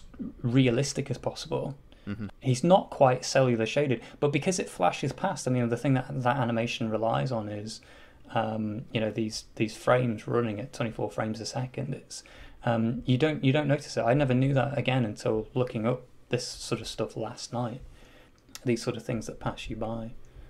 Um, so that's that's so fascinating. I'm gonna I'm gonna next time I rewatch it, I'll uh, which will probably be you know not uh, in the next few years. You know, I, I, not many years go past without me watching it at least once. I'll, I'll be looking out specifically for that scene. Um, I, I think I, I, was I was going to just briefly touch on the uh, uh, the sequence um, later in the movie. Um, it's kind of you're nearing the film's climax, really, but um, it's the bit where Eddie, uh, in in hot pursuit of Doom, I think, goes to Toontown, Mm. and because I, I, know because you had some thoughts on that. Um, I, I, like I like that. I mean, I wouldn't really say I didn't like any sequence in this movie, um, um, but I, I like I like that bit, um, and I like the kind of aesthetic of it. But you were you were saying on a sort of technical level, it, it shows some maybe some holes that the rest of it doesn't. Would you like to expand on that? I yeah I I don't think it's weak necessarily. I just I think there's a I, I think they kind of had to design the environment with no real consistency. It kind of to me it looks like a real hodgepodge of all kinds of things. It's a uh, it's a who's who of Easter eggs from various cartoon um, universes. The silly symphonies environment that he rides in through uh, after he's gone through the tunnel, for example, when the curtain opens onto what's essentially a, a sort of hallucinogenic, trippy rural environment of the sort that they've was it that computer game uh, recently, Cuphead, explored. Oh yeah, uh, yeah. Yeah, you know, the, sort of uh, extreme, extremely animistic kind of everything's alive, everything's singing at you. You know, the, the landscape is pulsating. You know, that very sort of uh, that phase of animation. It's yeah, it's very. I mean, Max Fleischer had a a really good run around that time. There's some incredible um, work uh, exploring sort of you know insects and and characterizing odd, odd sorts of um, creatures. Um, but he also did sort of like these old Superman cartoons as well. So I think Max Fleischer is sort of gets a bit of a nod there. Um, I'm curious to know if Charles and Max Fleischer are related. Charles being Roger Rabbit, the voice of Roger Rabbit. Um, but you know, to, to, to, my knowledge, they're not. But that, that's only I've just not seen a link between that now. I think that's a coincidence. I, I was just thinking, it. you know, you, you touched before on the idea of uh, uh, toons in this universe being pressed into wartime service. Um, Max Fleischer's Superman would be a really interesting uh, character to drop into a Roger Rabbit prequel or sequel, wouldn't it? Oh yeah, well yeah, he's um, it's terrifying to think how powerful um, these cartoon characters can be, but especially when you take them from the likes of comic book universes, and then I love the idea of it in the in the same way in the same way that they've made a few uh, animated movies out of you know specifically based on the 1966 um, uh, you know version, the Adam West version of Batman, you know, but obviously those are cartoons. I like the idea. I like the idea of the Max Fleischer version of Superman specifically being resurrected. You know, like that, like actually paying tribute to that specific version of Superman and expanding on it and the aesthetics of it. You know that'd be quite a cool project. Yeah, definitely, definitely. I mean, I've got a real soft spot for those because um, I had uh, a VHS video that was just called Tons of Tuneful Fun. It was like a four-hour video to pacify children when they were, you know, off sick from school or something, and it was just hundreds of Bugs Bunny, Porky Pig, uh, Casper, all of those old sort of cartoons. Um, but also, um, every so often you'd get this beautiful um, Superman cartoon. Mm. Um, and yeah, so go, going back to the, sort of the environment um, that you were talking about, the Toontown and, and, and how that comes off. I think I think there is a nod to sort of uh, that sort of old Felix the Cat. In fact, Felix the Cat features on the um, the keystone of the tunnel that they go through um, when they're on the uh, real life world, the real life side Mm. of, of that tunnel. Felix the Cat's there. Um, so it's sort of showing how how long Toontown has been in existence. It's like it goes back to that. It's like an iconic character. These black and white, Mm. um, sort of bubbly animations. On that tunnel, by the way, is, that is that talking of Robert Zemeckis? Is that the tunnel from Back to the Future Two? Because it looked it looked very like that. It is. It is. Yeah, it's the same one. And um, yeah, like a, it's. I mean, it's made up to be made up to, with lights and things to, to look slightly different. But um, but yeah, it's uh, it's the same one. It's got a really sort of iconically egg uh, egg, shape to it, hasn't it? So it's, it's a nice tunnel. I don't know if Robert Zemeckis used to get drunk under that bridge with friends as a kid or something, because he, he he seems to fondly remember it for some reason and want to put in things. Yeah, yeah, just stick it in everything, no matter how appropriate. Here's a tunnel. Um, for no reason. But yeah, the, the, the environment of Toontown in, in Roger Rabbit, I, I, I like I like it because it is kind of scary and overwhelming, and you know, I, I mean, uh, I like I like the danger of it, you know, and that he doesn't link along, but he's, he's basically for for the minutes that he's there, Eddie Valiant's constantly under threat of not even not even deliberate damage or harm, but just the environment is phenomenally dangerous, and it actually feeds quite nicely back into what happened to his brother, you know, because you, you you learn early in the movie that his brother, you know, we find out Doom did it, but you learn early early on that Eddie Valiant's brother had a piano dropped on his head, Mm. and it has that kind of lightly warm thing. It, it- it's not the movie's main theme, but it has that lightly warm theme of like, wow, toons could be dangerous, deliberately or otherwise, you know. Me. What's up, Doc? Jumping without a parachute? Kinda dangerous, ain't it? Yeah, uh, you could get killed, huh? You guys got a spare? Uh, Bugs does. Yeah? Yeah, but I don't think you want it. I do, I do. Give it to me. Gee, uh, uh, better let him have it, Bugs. Okay, Doc. Whatever you say. Here's the spare. Thank you.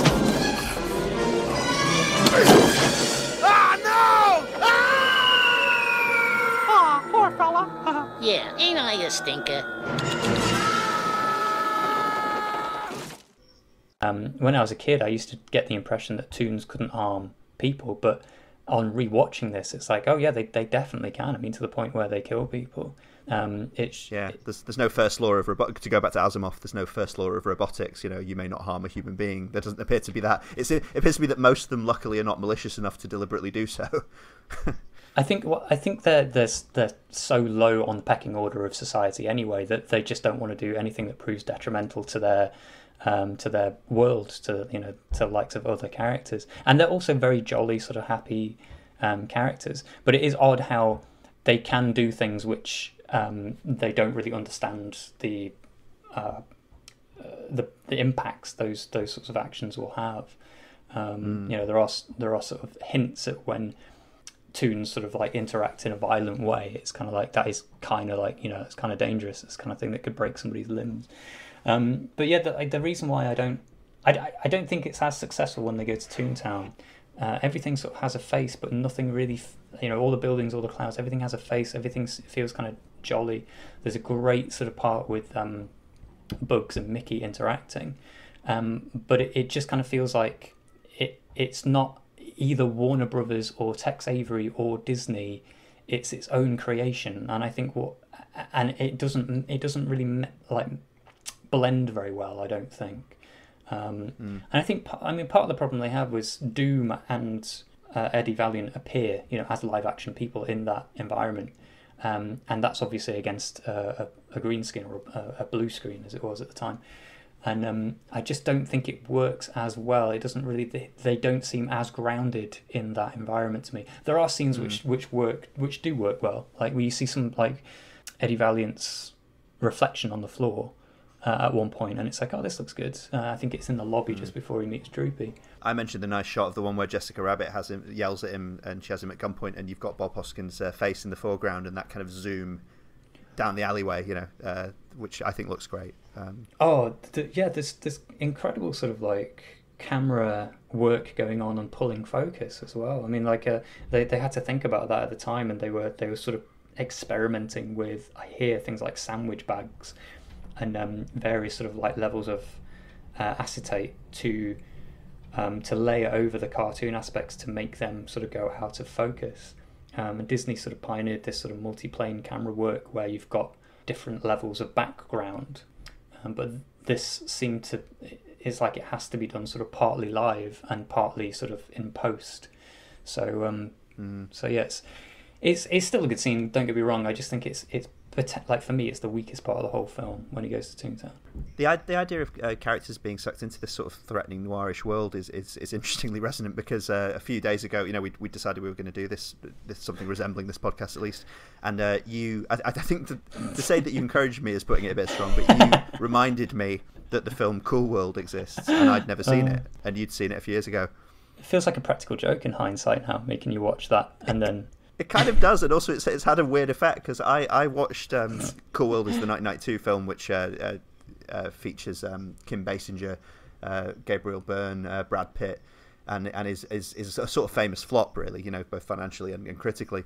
And I'd never seen it, although it's one of the I think because I read a review of the the, the Amiga game in, in an Amiga magazine probably when I was about seven, which made re- reference to how badly received the film had been. I think it's one of my earliest examples that I remember of, of knowing about a bad film. You know, like of, of being Mm. aware it was a terrible film and and being fast, kind of fascinated by it. So I watched Cool World about five days ago, um, and and I, I don't know what I was expecting, but it's a very hard movie to watch, and I'm not saying it's great, but I kind of love it, and it's really it's kind of borderline embarrassing because it's it's famously kind of sleazy and sordid and confused and irritating, and you know, and it is all those things. Um, but I, I, you know, that is definitely material for another podcast. But the environments of Toontown are, are, the, the bit in Roger Rabbit where it kind of um, you know, because Cool World has been accused of being a sort of Roger Rabbit knockoff, or, or Mm. you know, or pound shop version of, of of Roger Rabbit in some ways, which I think it's a bit more complicated than that. But the Toontown environments are the bit where you start to see the the weirder elements of humans being sucked into these worlds and how how scary that could be. Um, I was I, I didn't rewatch the whole of Cool World, but like you know, as as we were discussing, like we were potentially going to compare uh, Who Framed Roger Rabbit and Cool World is crudely like Cool World is essentially about somebody who gets sucked into a, an, an animation world, whereas Roger Rabbit is about um, animated characters existing in our world. It's you know crudely. I mean, there's obviously there's overlaps between the two, but that would have made a nice comparison.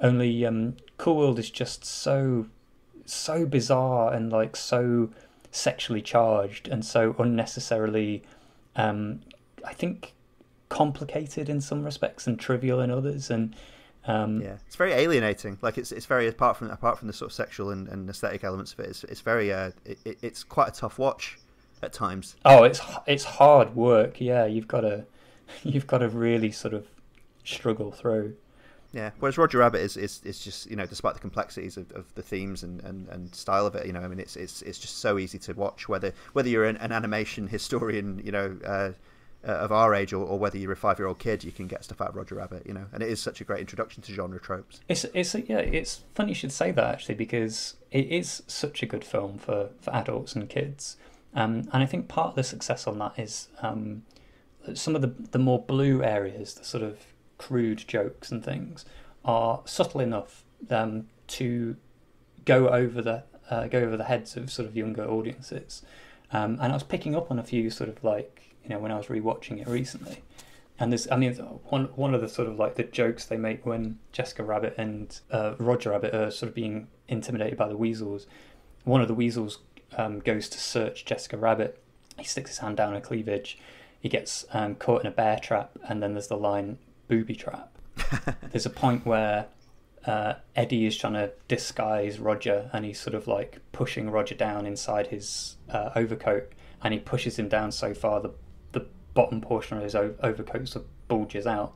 Yeah, she she says, "Is that a rabbit in your pocket? Are you just pleased to see me?" You know that old guy. um, Yeah. But there's one there's one lingering moment which I never picked up on until uh, sort of rewatching it the other night. after um, after all's said and done, and, and um, Jessica and Roger are tied together. I think it's just after they're rescued. Jessica says, "I love you more than any woman has ever loved a rabbit." And um, but there's just enough of a pause after Jessica Rabbit delivers that line for that to be, in my book, sort of like a questionable bit of blue humour. Well, I guess it's it's a, it's just quite a funny line anyway on the surface, isn't it? So I think it's fair to read into that. Might just be my interpretation of it, but you know, I and what I'm trying to say. Sorry, let's get let's get away from this filth. That's a rabbit hole of um, you know perversion I don't want to go down. Um, but w- what I'm saying is there there are enough of those adult jokes like you get in the in the likes of Pixar films and um, Mm.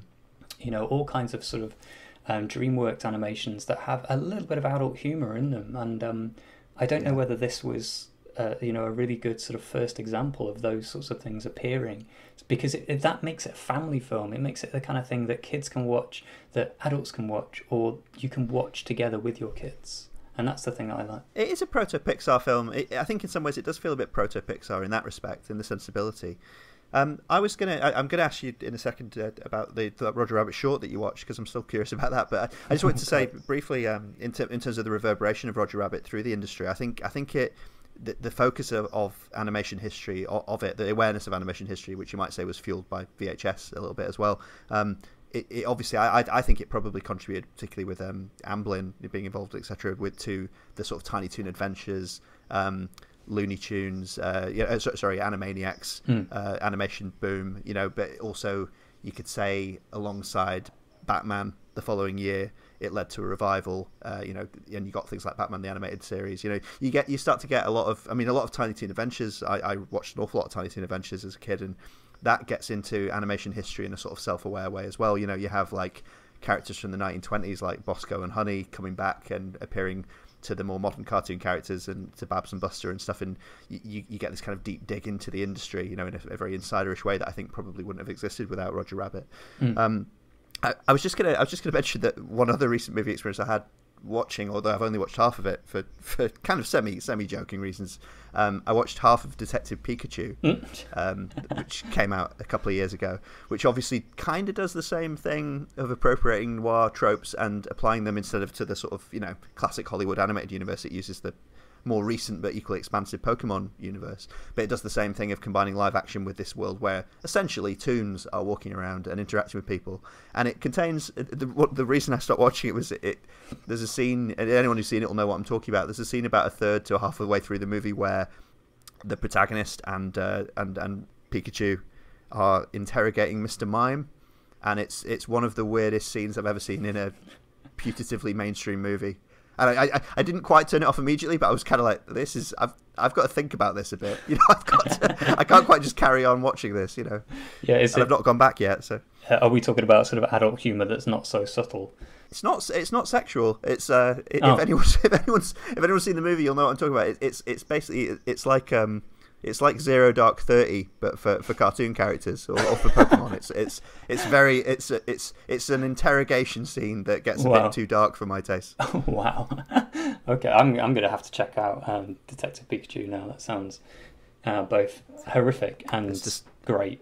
Disturbing, disturbing. Oh, oh, oh talking of disturbing, just just tell me briefly about this Roger Rabbit short you watched because I believe there were three made in the in the sort of immediate wake of the movie, weren't there? In the, the years after that. Yeah, yeah. I, I only watched one, and uh, I've only watched I've only watched it sort of last night. Um, but they they sort of they do combine live action and animation, but it's very much like the introduction to the film, which we haven't actually spoken about. It's a great introduction to you know the feature length film.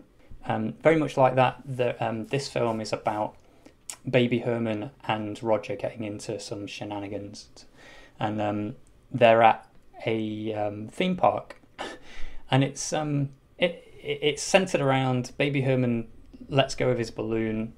Roger Rabbit is charged with you know the uh, the legs of the mum that that you see in sort of the opening sequence of Who Framed Roger Rabbit. Um, he's charged with the um, with the task of looking after Baby Herman. I'm wondering whether this informed the likes of Baby's Day Out actually as a film. Um, and Baby Herman sort of wanders off and he's looking for a new red balloon. But there's a point where like he sees this red balloon that's just on a, you know one of those uh, theme park sort of dart boards, those carnival sort of like dart boards where you've got to pop the balloons.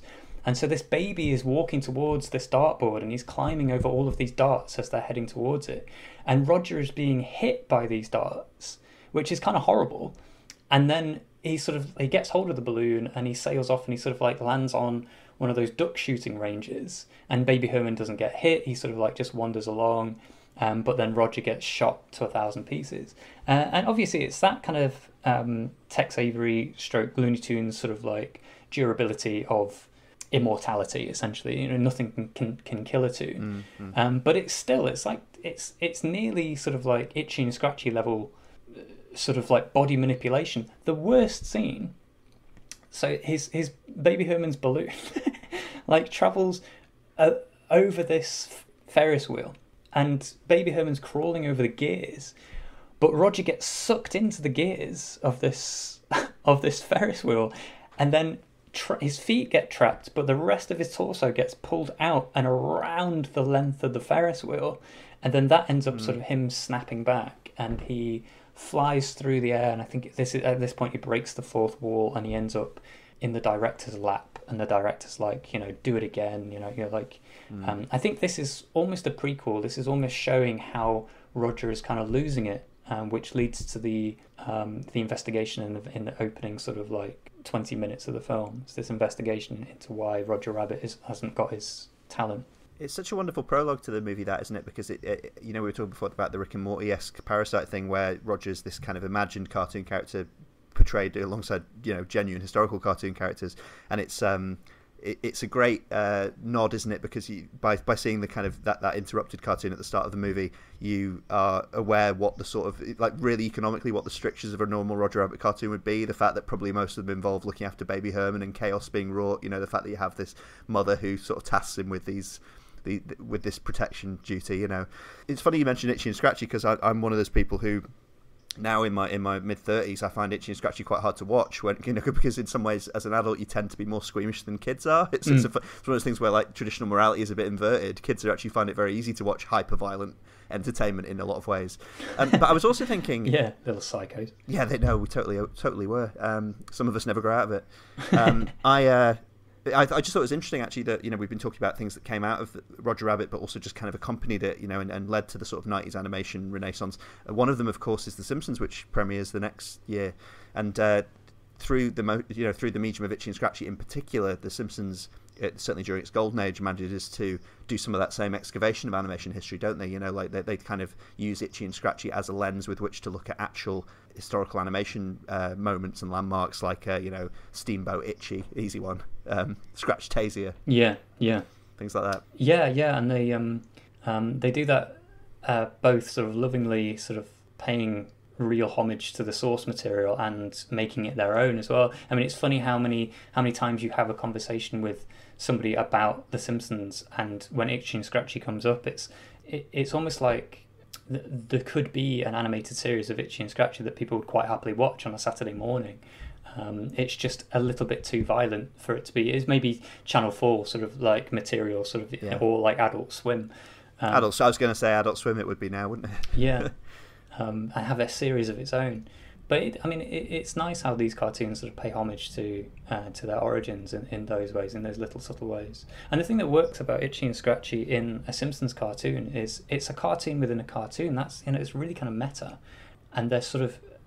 I remember seeing The Simpsons for the first time because uh, I didn't have Sky. We watched it on a, a, video, and one of the first episodes I'd ever seen was um, Homer Simpson gets a trampoline and he falls down a cliff and it mm-hmm. and it is this weird sort of like land between Wile E. Coyote sort of like stretching um, space and time, but Homer Simpson's bleeding like red blood, and he, he gets taken away in an ambulance. You know, it's it's yeah. it's this odd universe that um, captivates a cartoon within a cartoon. Yeah, I remember that one, and obviously there's there's moments in the early, very early series like the jumping of Springfield Gorge, which sort of pay tribute to that hyper stylized cartoon accident violence levels. You know, um, I mean, The Simpsons. For, for critics who say The Simpsons have got really cartoonish and unanchored in reality, it was always a bit like that. you know, yeah. for people like me who take The Simpsons way too seriously, it's important to acknowledge that. I would also, by the way, just as a, a, a sort of um, inter podcast plug or intra podcast plug, I forget the difference. Um, I'd just like to say that episode four of this of the EscapeGoat podcast was uh, was me talking uh, with Matt and Olivia about uh, South Park, and we actually we actually talk, touch a little bit on. Um, Cartman and the way in which, uh, particularly in season five of South Park, he pays tribute to the sort of Warner Brothers archetype of the trickster, you know, and, and, and they make reference to Bugs Bunny and, and to, to Warner Brothers aesthetics. So the, I, I think the, the, the, deep awareness of animation history and animation tropes is something that arguably is kickstarted and hyper-started by Roger Rabbit uh, in the late 80s, but it keeps running. It keeps running. Mm. I, I, should also mention, I, I, meant to get this in earlier in our conversation actually, but um, one thing I was rereading recently was, was Watchmen, uh, the Alan Moore comic, which came out in 1986 and was it was you know a big a big mainstream commercial hit. In fact, it was kind of the start of comics being the kind of mainstream commercial hit that they are perceived as these days. You know, because obviously comics sold big before that, but mm. um, being taken seriously. And there are there are ways in which um, I, this this could be a whole other podcast, but there are, there, there are ways in which Watchmen is is playing with those same ideas, the same sort of Asimovian robot novels tropes, the uh, the Blade Runner idea, you know, uh, the, certainly the Roger Rabbit idea, the idea of uh, a noir story told with essentially cartoon characters being involved. You know, it's just now it's it's super, it's comic superheroes. Yeah, yeah, it's um, it is a, a very sort of it's a genre that I'm not um, very well versed in, sort of film noir. It's not something. It's not my go-to thing, but just that sort of murder mystery angle or any kind of like crime solving thing. There are so many detective TV shows and things like that, like Columbo, and Kojak is that one? Am I getting that right? Um, those sorts of. Magnum Magnum PI. There you go. Flex my muscles now. Um, knowing my stuff. Those those sorts of things um, are you know popular for a very good reason, and it's because uh, these sorts of mysteries. There's a there's a gratification in, in you know in the reveal at the end. There's a gratification in in um, sort of like seeing somebody unravel those mysteries, um, and sort of throwing in somebody with super abilities, that just adds this level of um, how are they going to use that to help solve this mystery? What gives them that edge? Because you know there are a dime a dozen these sort of like um, these odd sort of detective stories. Important to remember DC stands for Detective Comics, of course. Oh yeah, yeah, of course, yeah, yeah, um, yeah. Like I mean, uh, that's sort of the foundation, isn't it, of um, of where they've come from? And I know Batman is one of the first iconic sort of like DC detectives. Um, The world's greatest detective, he's, he's, he's framed as often in, in those early comics. Yeah, the world's greatest detective. Um, just giving him sort of like additional powers is is that sort of interesting sort of like edge that I think pulls it pulls it into something that is sort of piquing piquing my interest personally. You could you could get really into the weeds of this, but uh, when, when I was at university, I was I was at various points in my in my English studies, you know, because I was doing a few th- things at university. But at various points in that, I, I've looked at both science fiction and detective stories as kind of narrative structures, and uh, these were two separate modules. But, in doing them in quick succession, I realised how much. Um, how much the detective story kind of formulated in the in the 19th century really echoes through the 20th century and basically becomes probably one of our most dominant storytelling forms really in the sense that you don't even notice it like you know we've talked about Star Trek on different episodes of this podcast already uh, but you know a lot of procedural TV shows just are you know investigating agency rocks up at a location. Something is awry something's not quite right. The whole episode is about finding out what it is and providing some sort of resolution. And then the, the next week is the next case essentially you know that and, and i see that now in so much that i watched as a kid and, and that definitely includes uh, you know anthology-esque stories like star trek and doctor who and things you know the detective fiction is just baked into popular fi- fiction at such a such a basic level Well, again, I think that comes to the sort of gratification of going through this journey with somebody and potentially spotting the things that you know that that they're discovering at the same time. It's it's those sorts of uh, how how are they going to unravel these mysteries, and and it's a journey that you go with together rather than having something just sort of spelled out to you.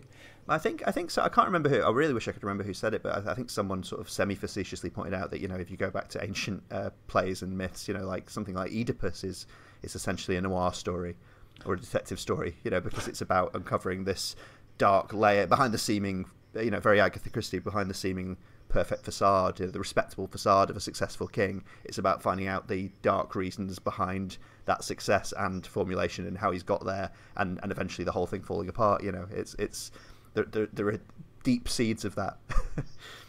Oh, I imagine there's all kinds of Greek um, tragedies and Greek mythologies um, which have a very similar sort of like frame structure to them of and, it often it's it's about gaining that power as well it's about sort of like the missing piece jason and the argonauts needing this um, golden fleece for instance sort of like going to um, a foreign land to the, to um, get the element that's missing to then bring it back into relation to um, why the journey started in the first place so so yeah i think um, there's probably a lot of sort of like historical um, reinterpretations. But you're right. There's there's film noir sort of like going back as far as ancient civilizations. That's interesting.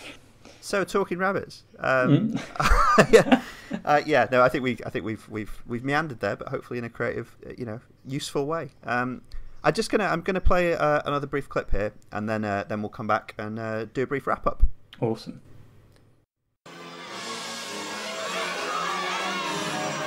Hey, Eddie, that was a pretty funny dance you did for the weasels. Do you think your days of being a sourpuss are over?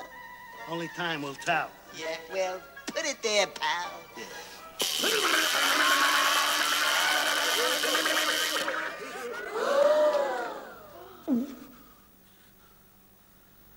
Don't tell me you lost your sense of humor already. Does this answer your question?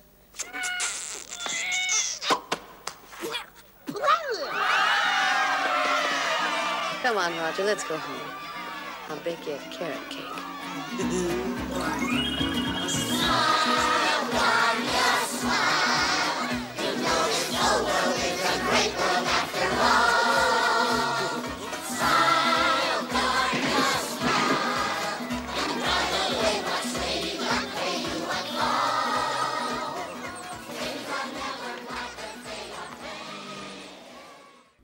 welcome back to the EscapeGoat podcast, and uh, I think that's a wrap. Um, thanks for joining me, Dru. That's been a, that's been a fantastic discussion of Roger Rabbit.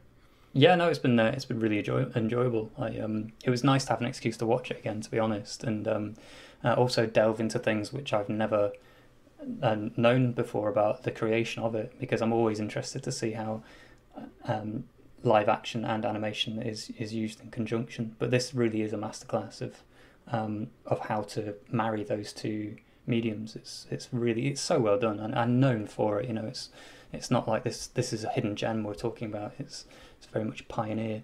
Yeah, and it's unlike some classic movies, you know, which can be very wordy and, and you know take a, a real bit of your concentration and you know seriousness to kind of kind of watch it. It's it's never a chore, is it, Roger Rabbit? It's, it's very enjoyable on, a, on a, just on a sort of surface level. It's an enjoyable narrative and a, a, speedy kind of fun romp as well as as well as all the good stuff in it, as, as well as all the deeper stuff. Yeah, definitely. It's um, it's it's sort of a perfect lazy Sunday afternoon movie, isn't it? It's uh, it's one of those things that again you can watch as a ch- as a child, as an adult, or with your children as an adult because it's it's got enough in for everybody there. I agree. I think it's also it's also one of the great uh, Hollywood. Like I mentioned, in the Rain before. It's also one of the great Hollywood movies about Hollywood. I think you know in that sense, and, and we talked about all the animation history unearths and makes use of. It's it's a great it's a great example of Hollywood eating itself in that sense. Yeah, you're so right. It's um looking at studio life and um sort of these competing studios even and um the uh, just uh, the the sort of the amount of work that goes into creating this world uh, and how that in the film is sort of like underplayed. It's you know it's, it's these these animations just exist. I think that's a really nice way of sort of marrying both animation and live action because it's almost like these these characters are looking for for work in Hollywood. They've moved to Hollywood to um, to get the work there, and uh, maybe they're going to struggle for a little while. But yeah, you're right. It's um it's a good uh, love note to to Hollywood in general. Yeah, it really is. Well, thanks. Yeah, thanks, Dru. That's been fantastic. Um, I'll just uh, I'll just let the listeners know uh, where they can find us. Um, so uh, you can find uh, the EscapeGoat podcast uh, at our Libsyn site, and uh, you can also find us on Twitter. Um, we have a Twitter handle at uh, egoat underscore pod, um, and you can find me on Twitter personally at db Faggiani, which you can get the spelling on the show notes. And if you'd like to drop us an email, please do. we're escapegoatpod at gmail.com. And uh, do feel free to check out any of those prior episodes that I discussed as well. Uh, and I'm sure we'll have you back on uh, soon to talk about something else, Dru. Be a pleasure. Yeah, yeah, that'd be um, that'd be amazing. Um, you know, we've we've had a couple of ideas already, but um, but yeah, no, it was a real pleasure. Fantastic. Well, thank you very much, and say goodbye, Dru. Oh, are either of us going to say that's all, folks? Because one of us has to. you know what? Uh, yeah, let's. Uh, so I'll I'll say I'll say goodbye from me, and it's also goodbye from Dru. And three, two, one. That's all, folks. That's all, folks. Let's do it at the same time. Three, two, one. That's, That's all, all, folks. folks. Nailed it.